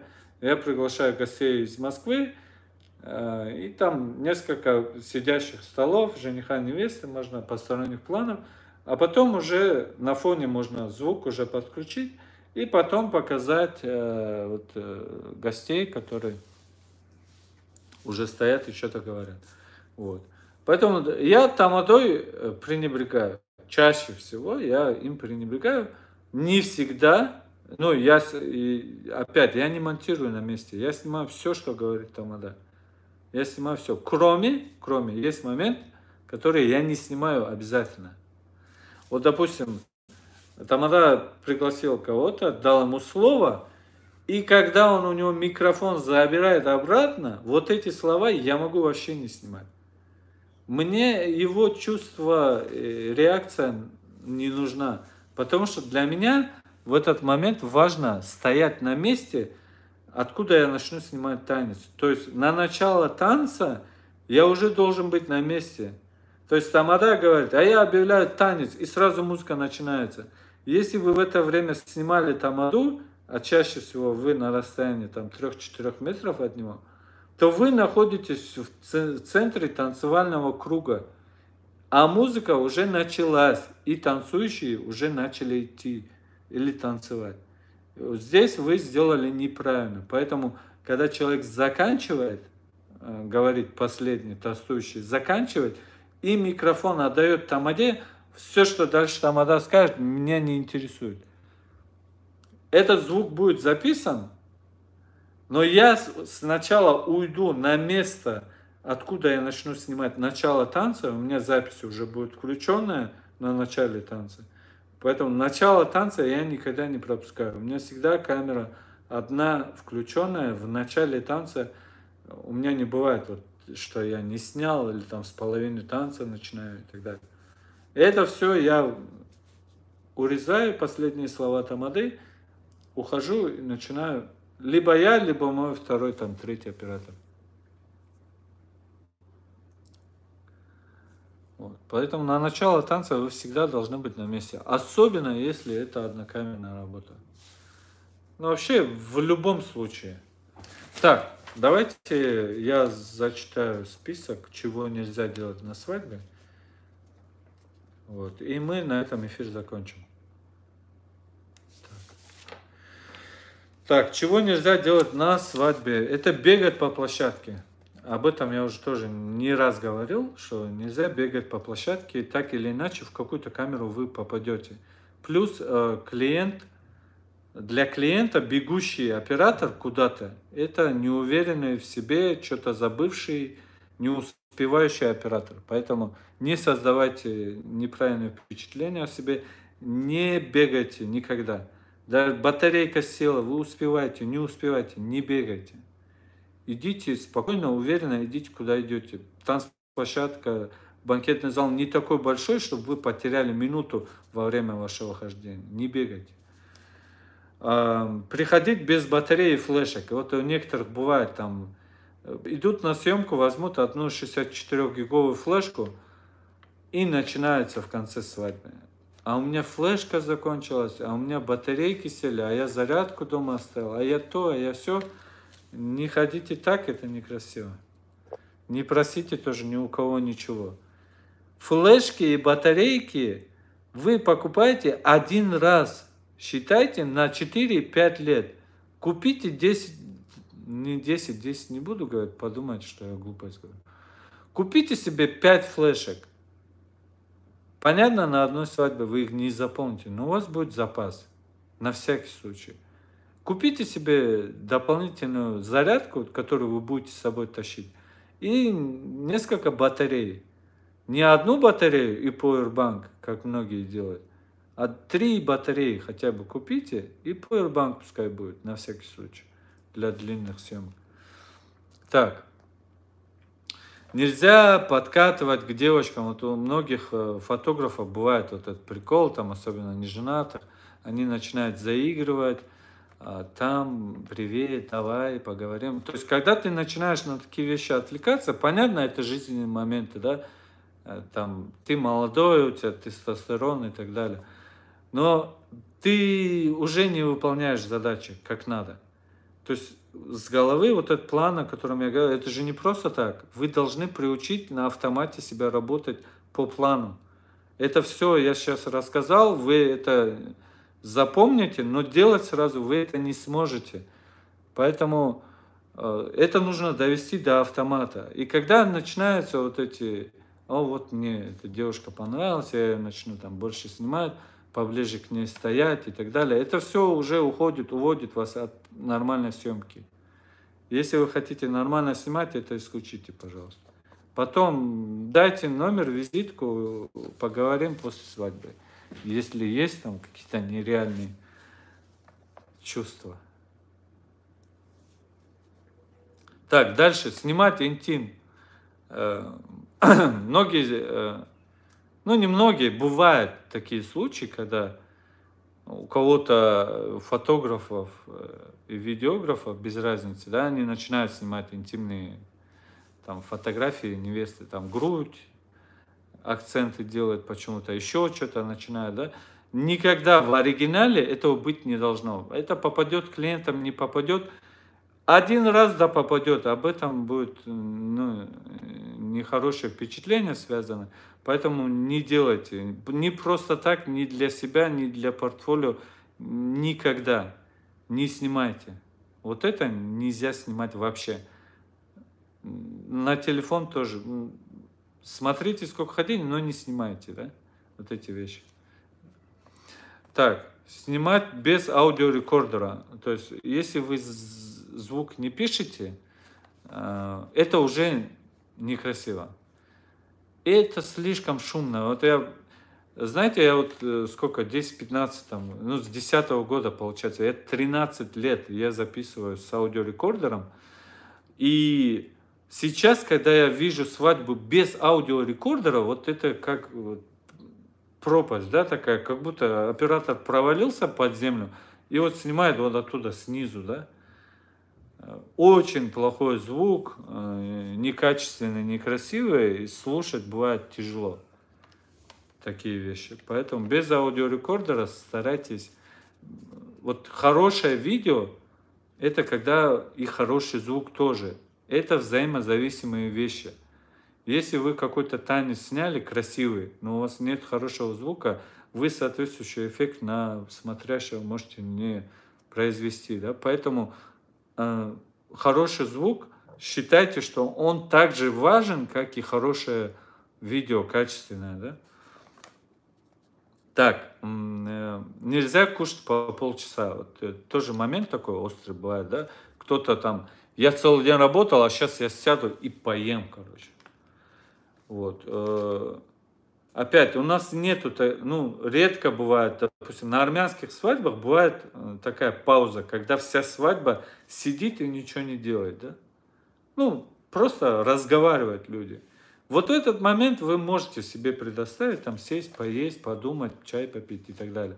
Но когда вы находитесь на дагестанских свадьбах, и все у нас идет без остановки, все друг за другом, тостующие танцы, тосты, танцы и так далее, и так далее, себе позволить сидеть больше, там, чем 10 минут, это не хороший тон. Вообще, если не сядете, будет круто. Для вашего рейтинга, если вы не сядете, будет очень хорошо, потому что есть люди в зале, которые за вами наблюдают, запомните. Есть люди в зале, которые за вами наблюдают. Вы сядете на 5 минут или там на полчаса, они могут все эти полчаса наблюдать за вами и потом сказать, что он полчаса ни черта не снимал. И все. Они про остальное не скажут, они скажут, он полчаса сидел и кушал только. И все. Поэтому это острый момент такой, будьте э, внимательны, потому что на одной свадьбе, я помню, э, была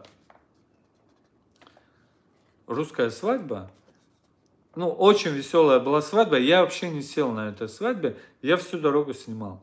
И в конце сестра невесты э, говорит, я весь день за тобой наблюдал, ты даже не сел. Я говорю, у меня времени не было, поэтому я не сел. Ну, в конце мы сели вместе с ними, у нас такие дружеские отношения завязались.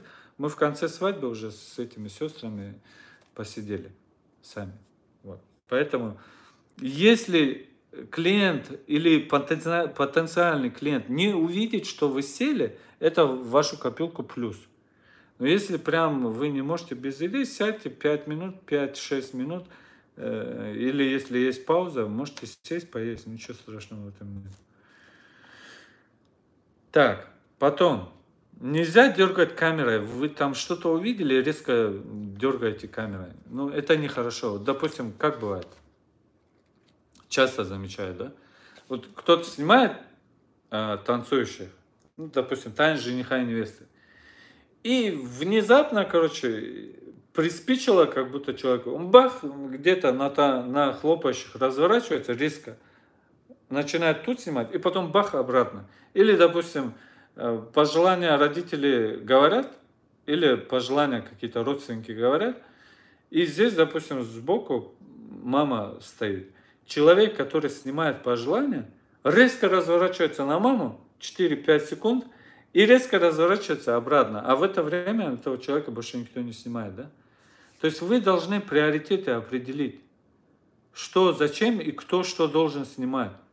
Невозможно, чтобы один человек вот так разрывался, потом это все монтировать гораздо сложнее бывает. То есть обычно, если тостующего снимает один человек, он должен его снимать от начала до конца непрерывно. Все, никуда не отвлекаться, что бы ни случилось там. Пол зала пусть снесут, но вот ты тостующего должен доснимать.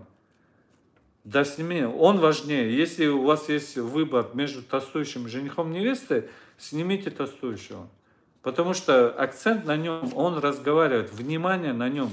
Если вы будете показывать жениха невесту, и кто-то будет там за кадром говорить, через 10 секунд человеку захочется услышать, увидеть того, кто говорит. А если вы его не показываете, как они его увидят? Поэтому вот эти внезапные переброски камер не делайте. Это некрасиво. Вы должны четко понимать, когда что нужно делать.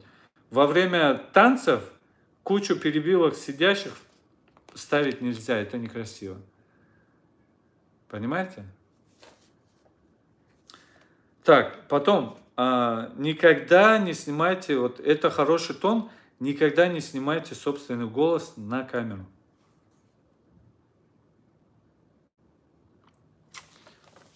Собственный голос на камеру не снимайте. Вот я это заметил, что я, я свою съемку так построил, что уже с, по прошествии многих лет, да, я уже практически своего голоса в камеру не слышу. То есть, когда я что-то говорю, э, ну, с кем-то общаюсь, я отключаю и разговариваю. Или если я вопрос задаю в интервью, да, я могу сначала объяснить, что как должен человек говорить, на что отвечать, а потом включить запись. Никогда не оставляйте собственный голос. Это тоже, ну, немножко плохой тон, да? То есть вы же интервью не берете, вы себя же тоже не показываете с микрофоном, да? Вы должны снимать все так, как будто это репортаж и сторонняя съемка. Вы участвовать лично в этом не должны, особенно голосом. Потом во время съемок тоже никогда не разговаривать. Там, допустим, танцы идут, вы понимаете, что у вас есть аудиорекордер, и вся съемка вот эта с аудиорекордера, ну, звук, он будет добавлен. Но все равно во время э, этих э, танцев и, и там съемки гостей, допустим, вы тоже понимаете, что будет какой-то другой звук, все равно не разговаривайте. Хотите, остановите камеру и поговорите с кем хотите. Так, э, не материться. Вот это все, конечно, связано не только с матом, но и с обсуждением каких-то сторонних вопросов за кадром, чтобы ваш, вы снимаете что-то, и вы начинаете второму оператору, а вот ты забыл, а вот я там такую девушку видел. Там, это все глупости. Не делайте так, не разговаривайте во время съемки. Так, э, нельзя делать, чего нельзя делать, да? Э, держать монопод одной рукой. Это крайне плохой тон. Это стопроцентно кривая съемка. Не держите монопод одной рукой. Я видел, нету таких профессионалов, которые могут хорошо держать одной рукой монопод. Рано или поздно вот это все начинается. Чуть вперед, чуть назад, там горизонт уходит. Нету профессионалов, снимающих монопод, на монопод одной рукой. Нету. Поэтому, ну, как только вторая рука у вас э, с монопода уходит, все, для меня вы не оператор. Так, нельзя приходить э, на съемку в ярких одеждах. Вот э, свои понты, там я какой крутой, у меня там такая рубашка, э, такие, допустим, штаны интересные есть и так далее. Это все оставьте для девочек вне съемки. На съемочную площадку в ярких одеждах не надо приходить. Красные рубашки, в красных штанах, красных мокасинах, в ярко-зеленой рубашке. Любая яркая одежда не пойдет. Лучший вариант это черный и белый. Самый лучший вариант. Черный и белый. То есть, если вы будете в белом, вы будете не сильно заметны э, и для клиентов, и для других операторов. То есть, если вы попадаете, допустим, в съемку э, общую, общего плана э, другого оператора или крановскую съемку, если вы будете в красной одежде, вас будет всегда видно. Вы будете палиться. Если в зеленой, тоже будете палиться. Не одевайте такие вещи. Старайтесь слиться со всеми. То есть вы же знаете, что большинство людей на свадьбе будут там либо в черном, либо в белом. Вот оденьтесь, как они, приходите. Свои понты забейте. Вас позвали работать, а не понтоваться. Понты оставьте. Понты уже это на втором месте. Это для людей, которые на понтах зарабатывают. Если вы такой человек, вот вы можете заняться этим. Но если вы чисто с профессиональной точки зрения смотрите на это, то этого вообще быть не должно. Если, опять, если вы попали на какую-то интересную свадьбу, знаете, что все будут там в разноцветных одеждах, вы можете себе это позволить. Но главное, не выбивайтесь из толпы, чтобы вас сверху, с общего плана, вас не было вот, вот это кто такой, да? Особенно если вы бежать начнете в красной рубашке, вас стопроцентно будет видно.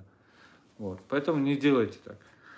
Э, соответственно, тапочки, сандали, это все тоже оставьте на какой-нибудь летний сезон. Шорты, тапочки, сандали, это все неуместно на свадебной съемке. Вот. Э, нужно приходить в соответствующей одежде, чтобы все было сдержано. Чтобы вы не выбивались из толпы, не показывали свою оригинальность. Это никому не интересно. Интерес вас пригласили, чтобы вы показали съемку, видео, фото и так далее. Но не вашу оригинальность в одежде и так далее. Вот, далее. Снимать в упор на 16-24 мм. То есть, если у вас 24 э, мм, не старайтесь, не старайтесь снимать людей, которые находятся вот прямо перед вами, да? Вот, допустим, вы снимаете танец жениха и невесты на 24, общий план, да? Вы снимаете танец жениха и невесты, и, допустим, когда они отдаляются от вас, это нормально выглядит.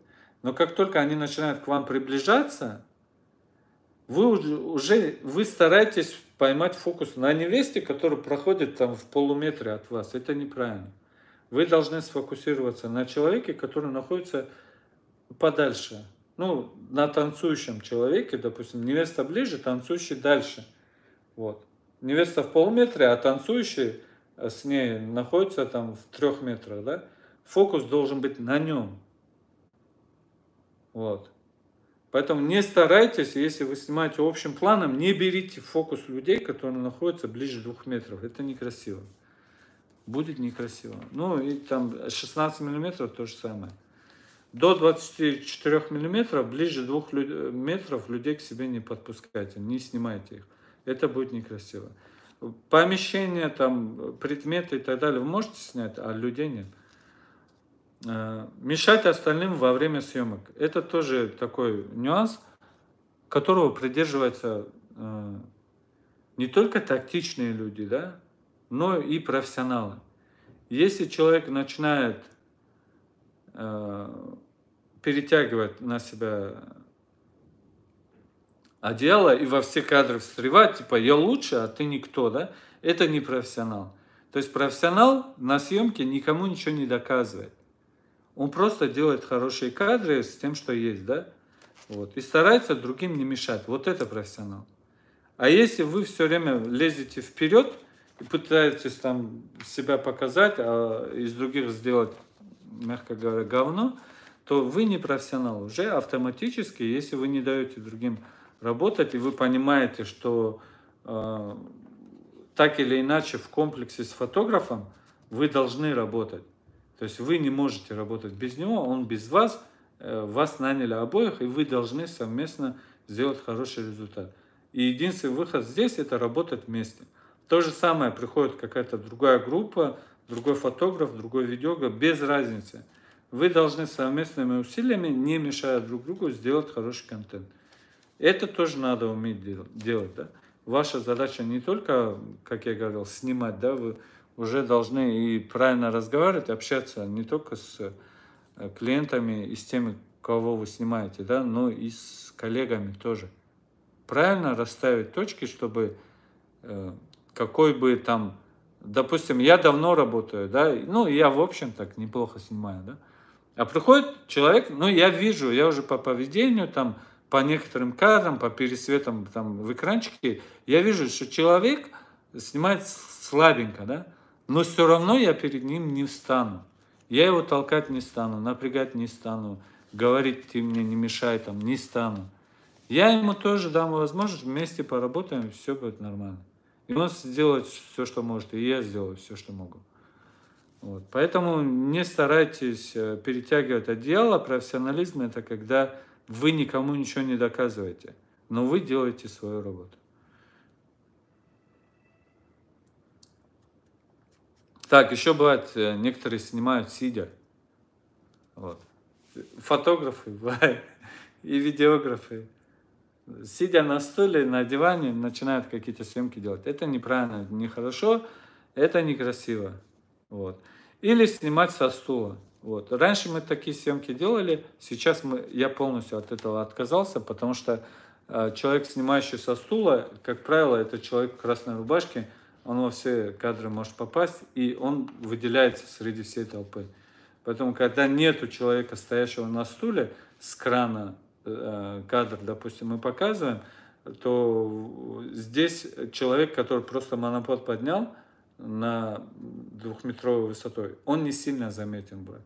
Но человек, который вот полным ростом стоит выше всех, он, конечно, попадет и будет э, слишком виден э, в крановскую съемку. Поэтому это некрасиво. Вот. Не снимайте с этим. Ну, много нюансов связано, подробно объяснять не буду. Вот. Ну, это основные параметры, чего нельзя делать, да. Э, может быть э, исключения, где-то могут быть исключения, конечно. Но в любом случае, если вы постараетесь придерживаться вот этого плана, да, то 19 пунктов, чего нельзя делать. Конечно, технических нюансов по именно видеосъемке очень много, чего нельзя делать. Я сейчас такую сторону объяснил, поведение в основном, да, чего нельзя делать э, относительно поведения. Так, Давайте на вопросы отвечу и закончим эфир.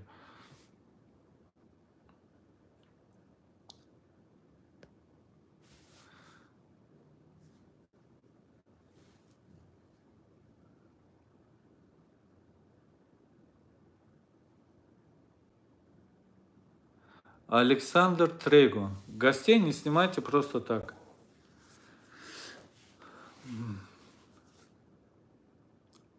А как их снимать?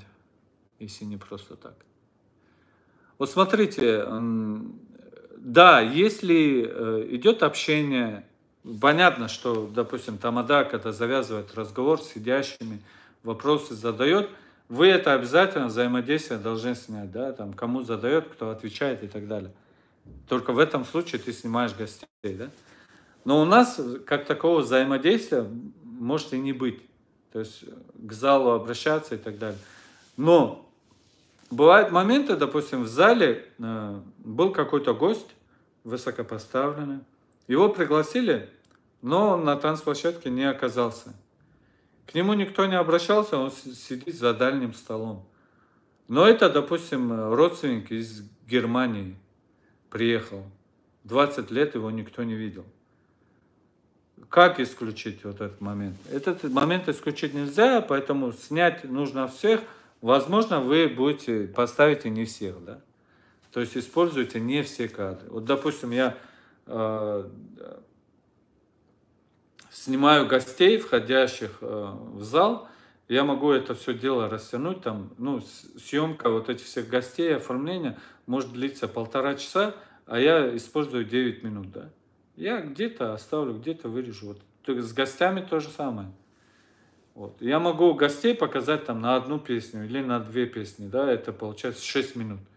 То есть из трех часов за 6 минут я покажу всех людей, которые сидели в зале.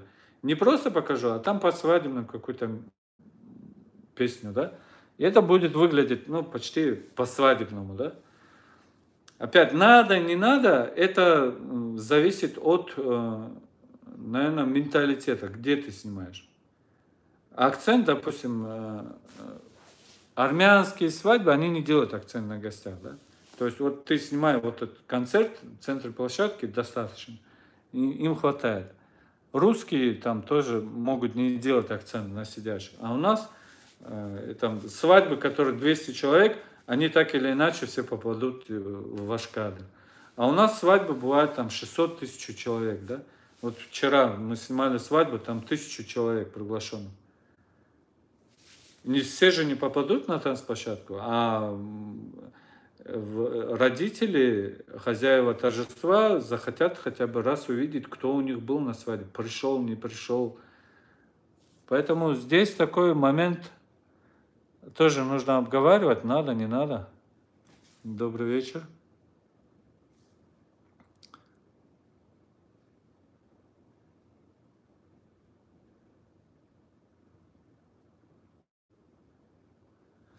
Насчет хронологии в другом видео поговорим, как это оформлять, как монтировать и так далее.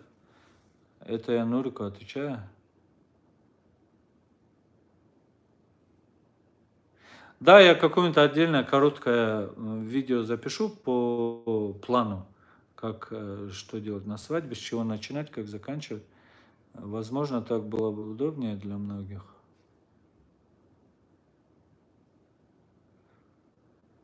Александр Трего, э, как, под какими видео нерабочие? Я недавно обновлял ссылки. У некоторых просто ссылки эти грузятся не с первого раза.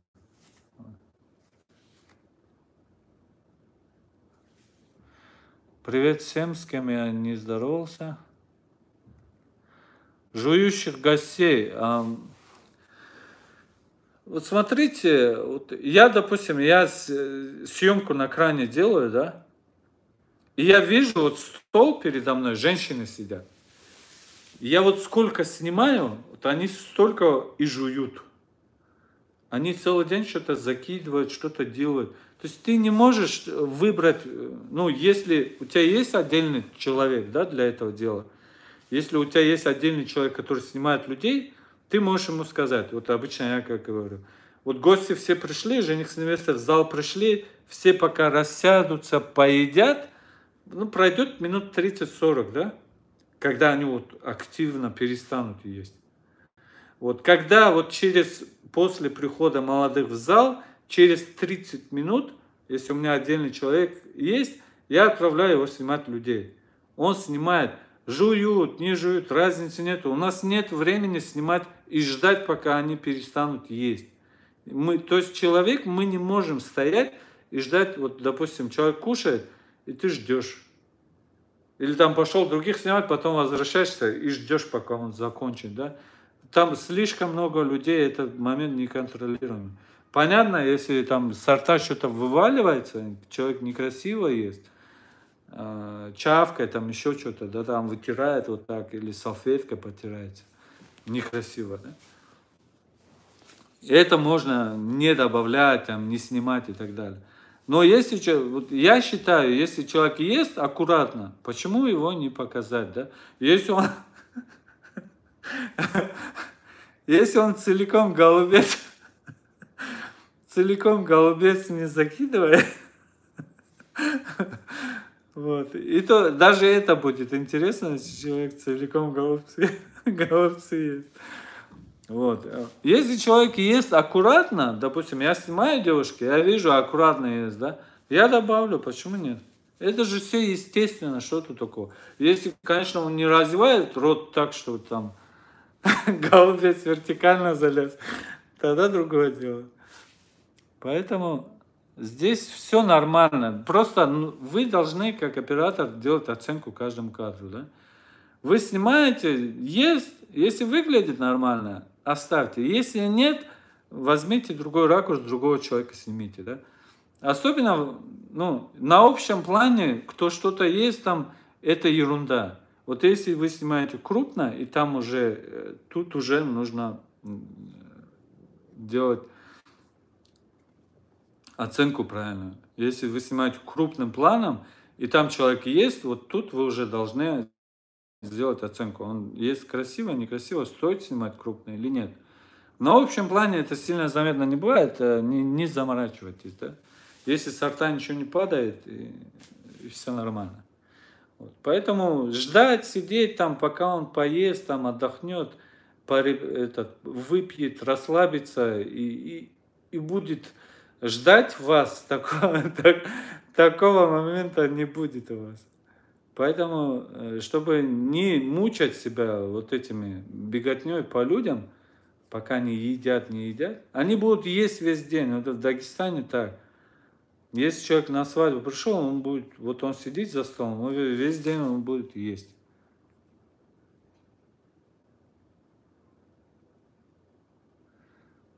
Ва алейкум салам, Малик.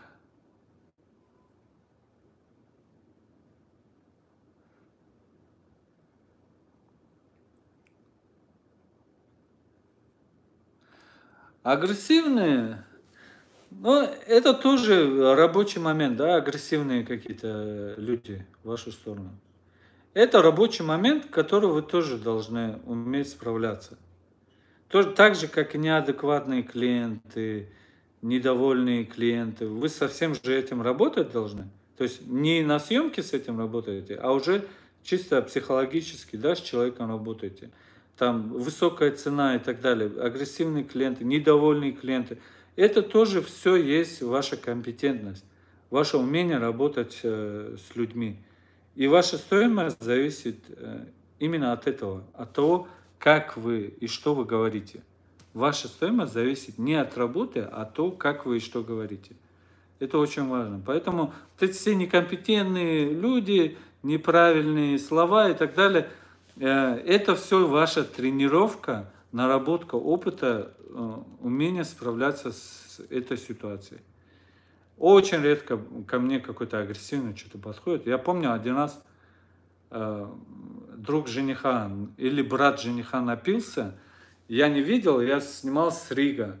У меня был 30, ну, объектив 35 миллиметров, Canon, по-моему, там, ну, Элка была и вот э, я снимаю вот отсюда, а он отсюда мне рукой по объективу шарахнул. Со всей дури. А я же не видел, я даже среагировать не успел. Он по объективу мне шарахнул конкретно. Ну, камера с рук не вылетела, у меня рик был, я удержал ее. Я потом уже в конце заметил, что вот на фокусном кольце там э, этот бывает стекляшка. Я сразу не увидел, я потом в конце заметил, что эта стекляшка вылетела. И когда после удара сразу подбежали несколько друзей и говорят, ты его извини, он пьяный, если что-то испортил, мы, короче, тебе заплатим. Ну, я посмотрел, так не заметил эту стекляшку, вроде все нормально, все работает, говорю, ладно, говорю, забейте. Вот, и дальше не решайте, не пытайтесь решить э, вот эти агрессивные моменты на месте. Отложите после. Да? Потому что если там конфликт начнется, вы свою работу не доделаете. Поэтому любые непонятные какие-то ситуации хотите решить, решайте вне. То есть вы, ваши обязательства доснимать э, по максимуму. Все эти пьяные разговоры и так далее, старайтесь э, не усиливать конфликт, выйти из ситуации так, чтобы э, либо решить этот вопрос позже, либо решить это на месте, чтобы он больше не подходил. Вот. Не усложняйте ни, никогда это все.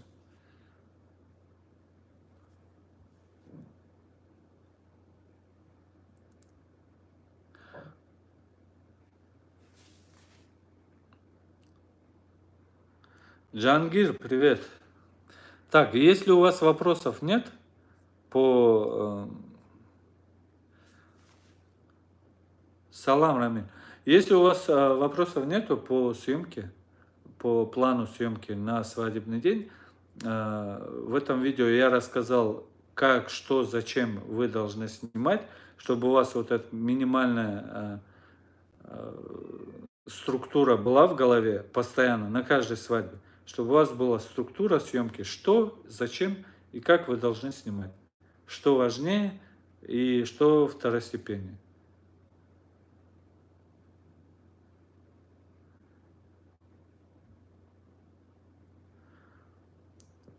В Ютубе сейчас выходит 200-300 долларов выходит в месяц. Но не на этом канале. На этом канале я практически ничего не зарабатываю. Там 1-2 доллара, по-моему, на этом канале выходит на YouTube. А так, в общем, со всех каналов там где-то 200-300 выходит. В данный момент. Так, все. Э, если у вас вопросов нету относительно плана съемки на день, свадебной съемки, вот, э, мы завершаем эфир. Всем большое спасибо за просмотр. Если у вас останутся какие-то вопросы, задавайте или пишите э, темы для последующих эфиров. Заниматься Заниматься начал, наверное, месяца четыре назад, когда активно начал зарабатывать. Тогда я начал заниматься. А до этого я просто несколько каналов вел, чисто по фану, просто закидывал все, что есть, свое видео. Вот. А когда уже выстрелило одно видео, я понял, что в этот момент нужно поддержать канал, закидывать больше –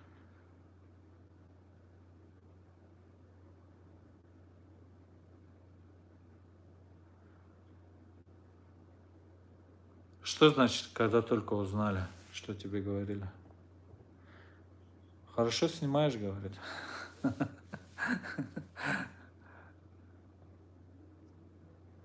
Я снимаю давно, э, уже около 23 лет. Да, 23 года я снимаю, поэтому история большая. Что говорили, нужно уточнить, в какой момент именно. Когда я только камеру взял, или пару лет назад.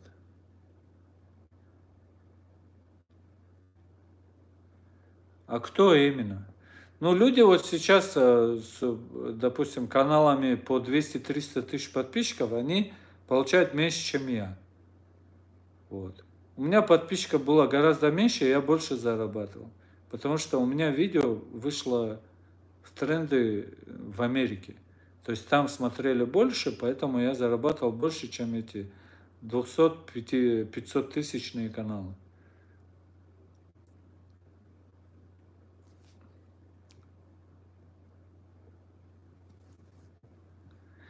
Все, давайте про YouTube э, поговорим потом. Э, у меня есть отдельный канал Gold YouTuber. Вот, э, все, что касается YouTube, раскрутки и так далее, я записываю ролики там. Вот, если хотите, могу ссылку оставить. Ну, оставлю ссылку под этим видео, кому интересно, а насчет Ютуба. Э, я там рассказываю, ну, не часто, но какие-то видео там выходят. Я там делюсь. Все, всем спасибо большое за просмотр, пока.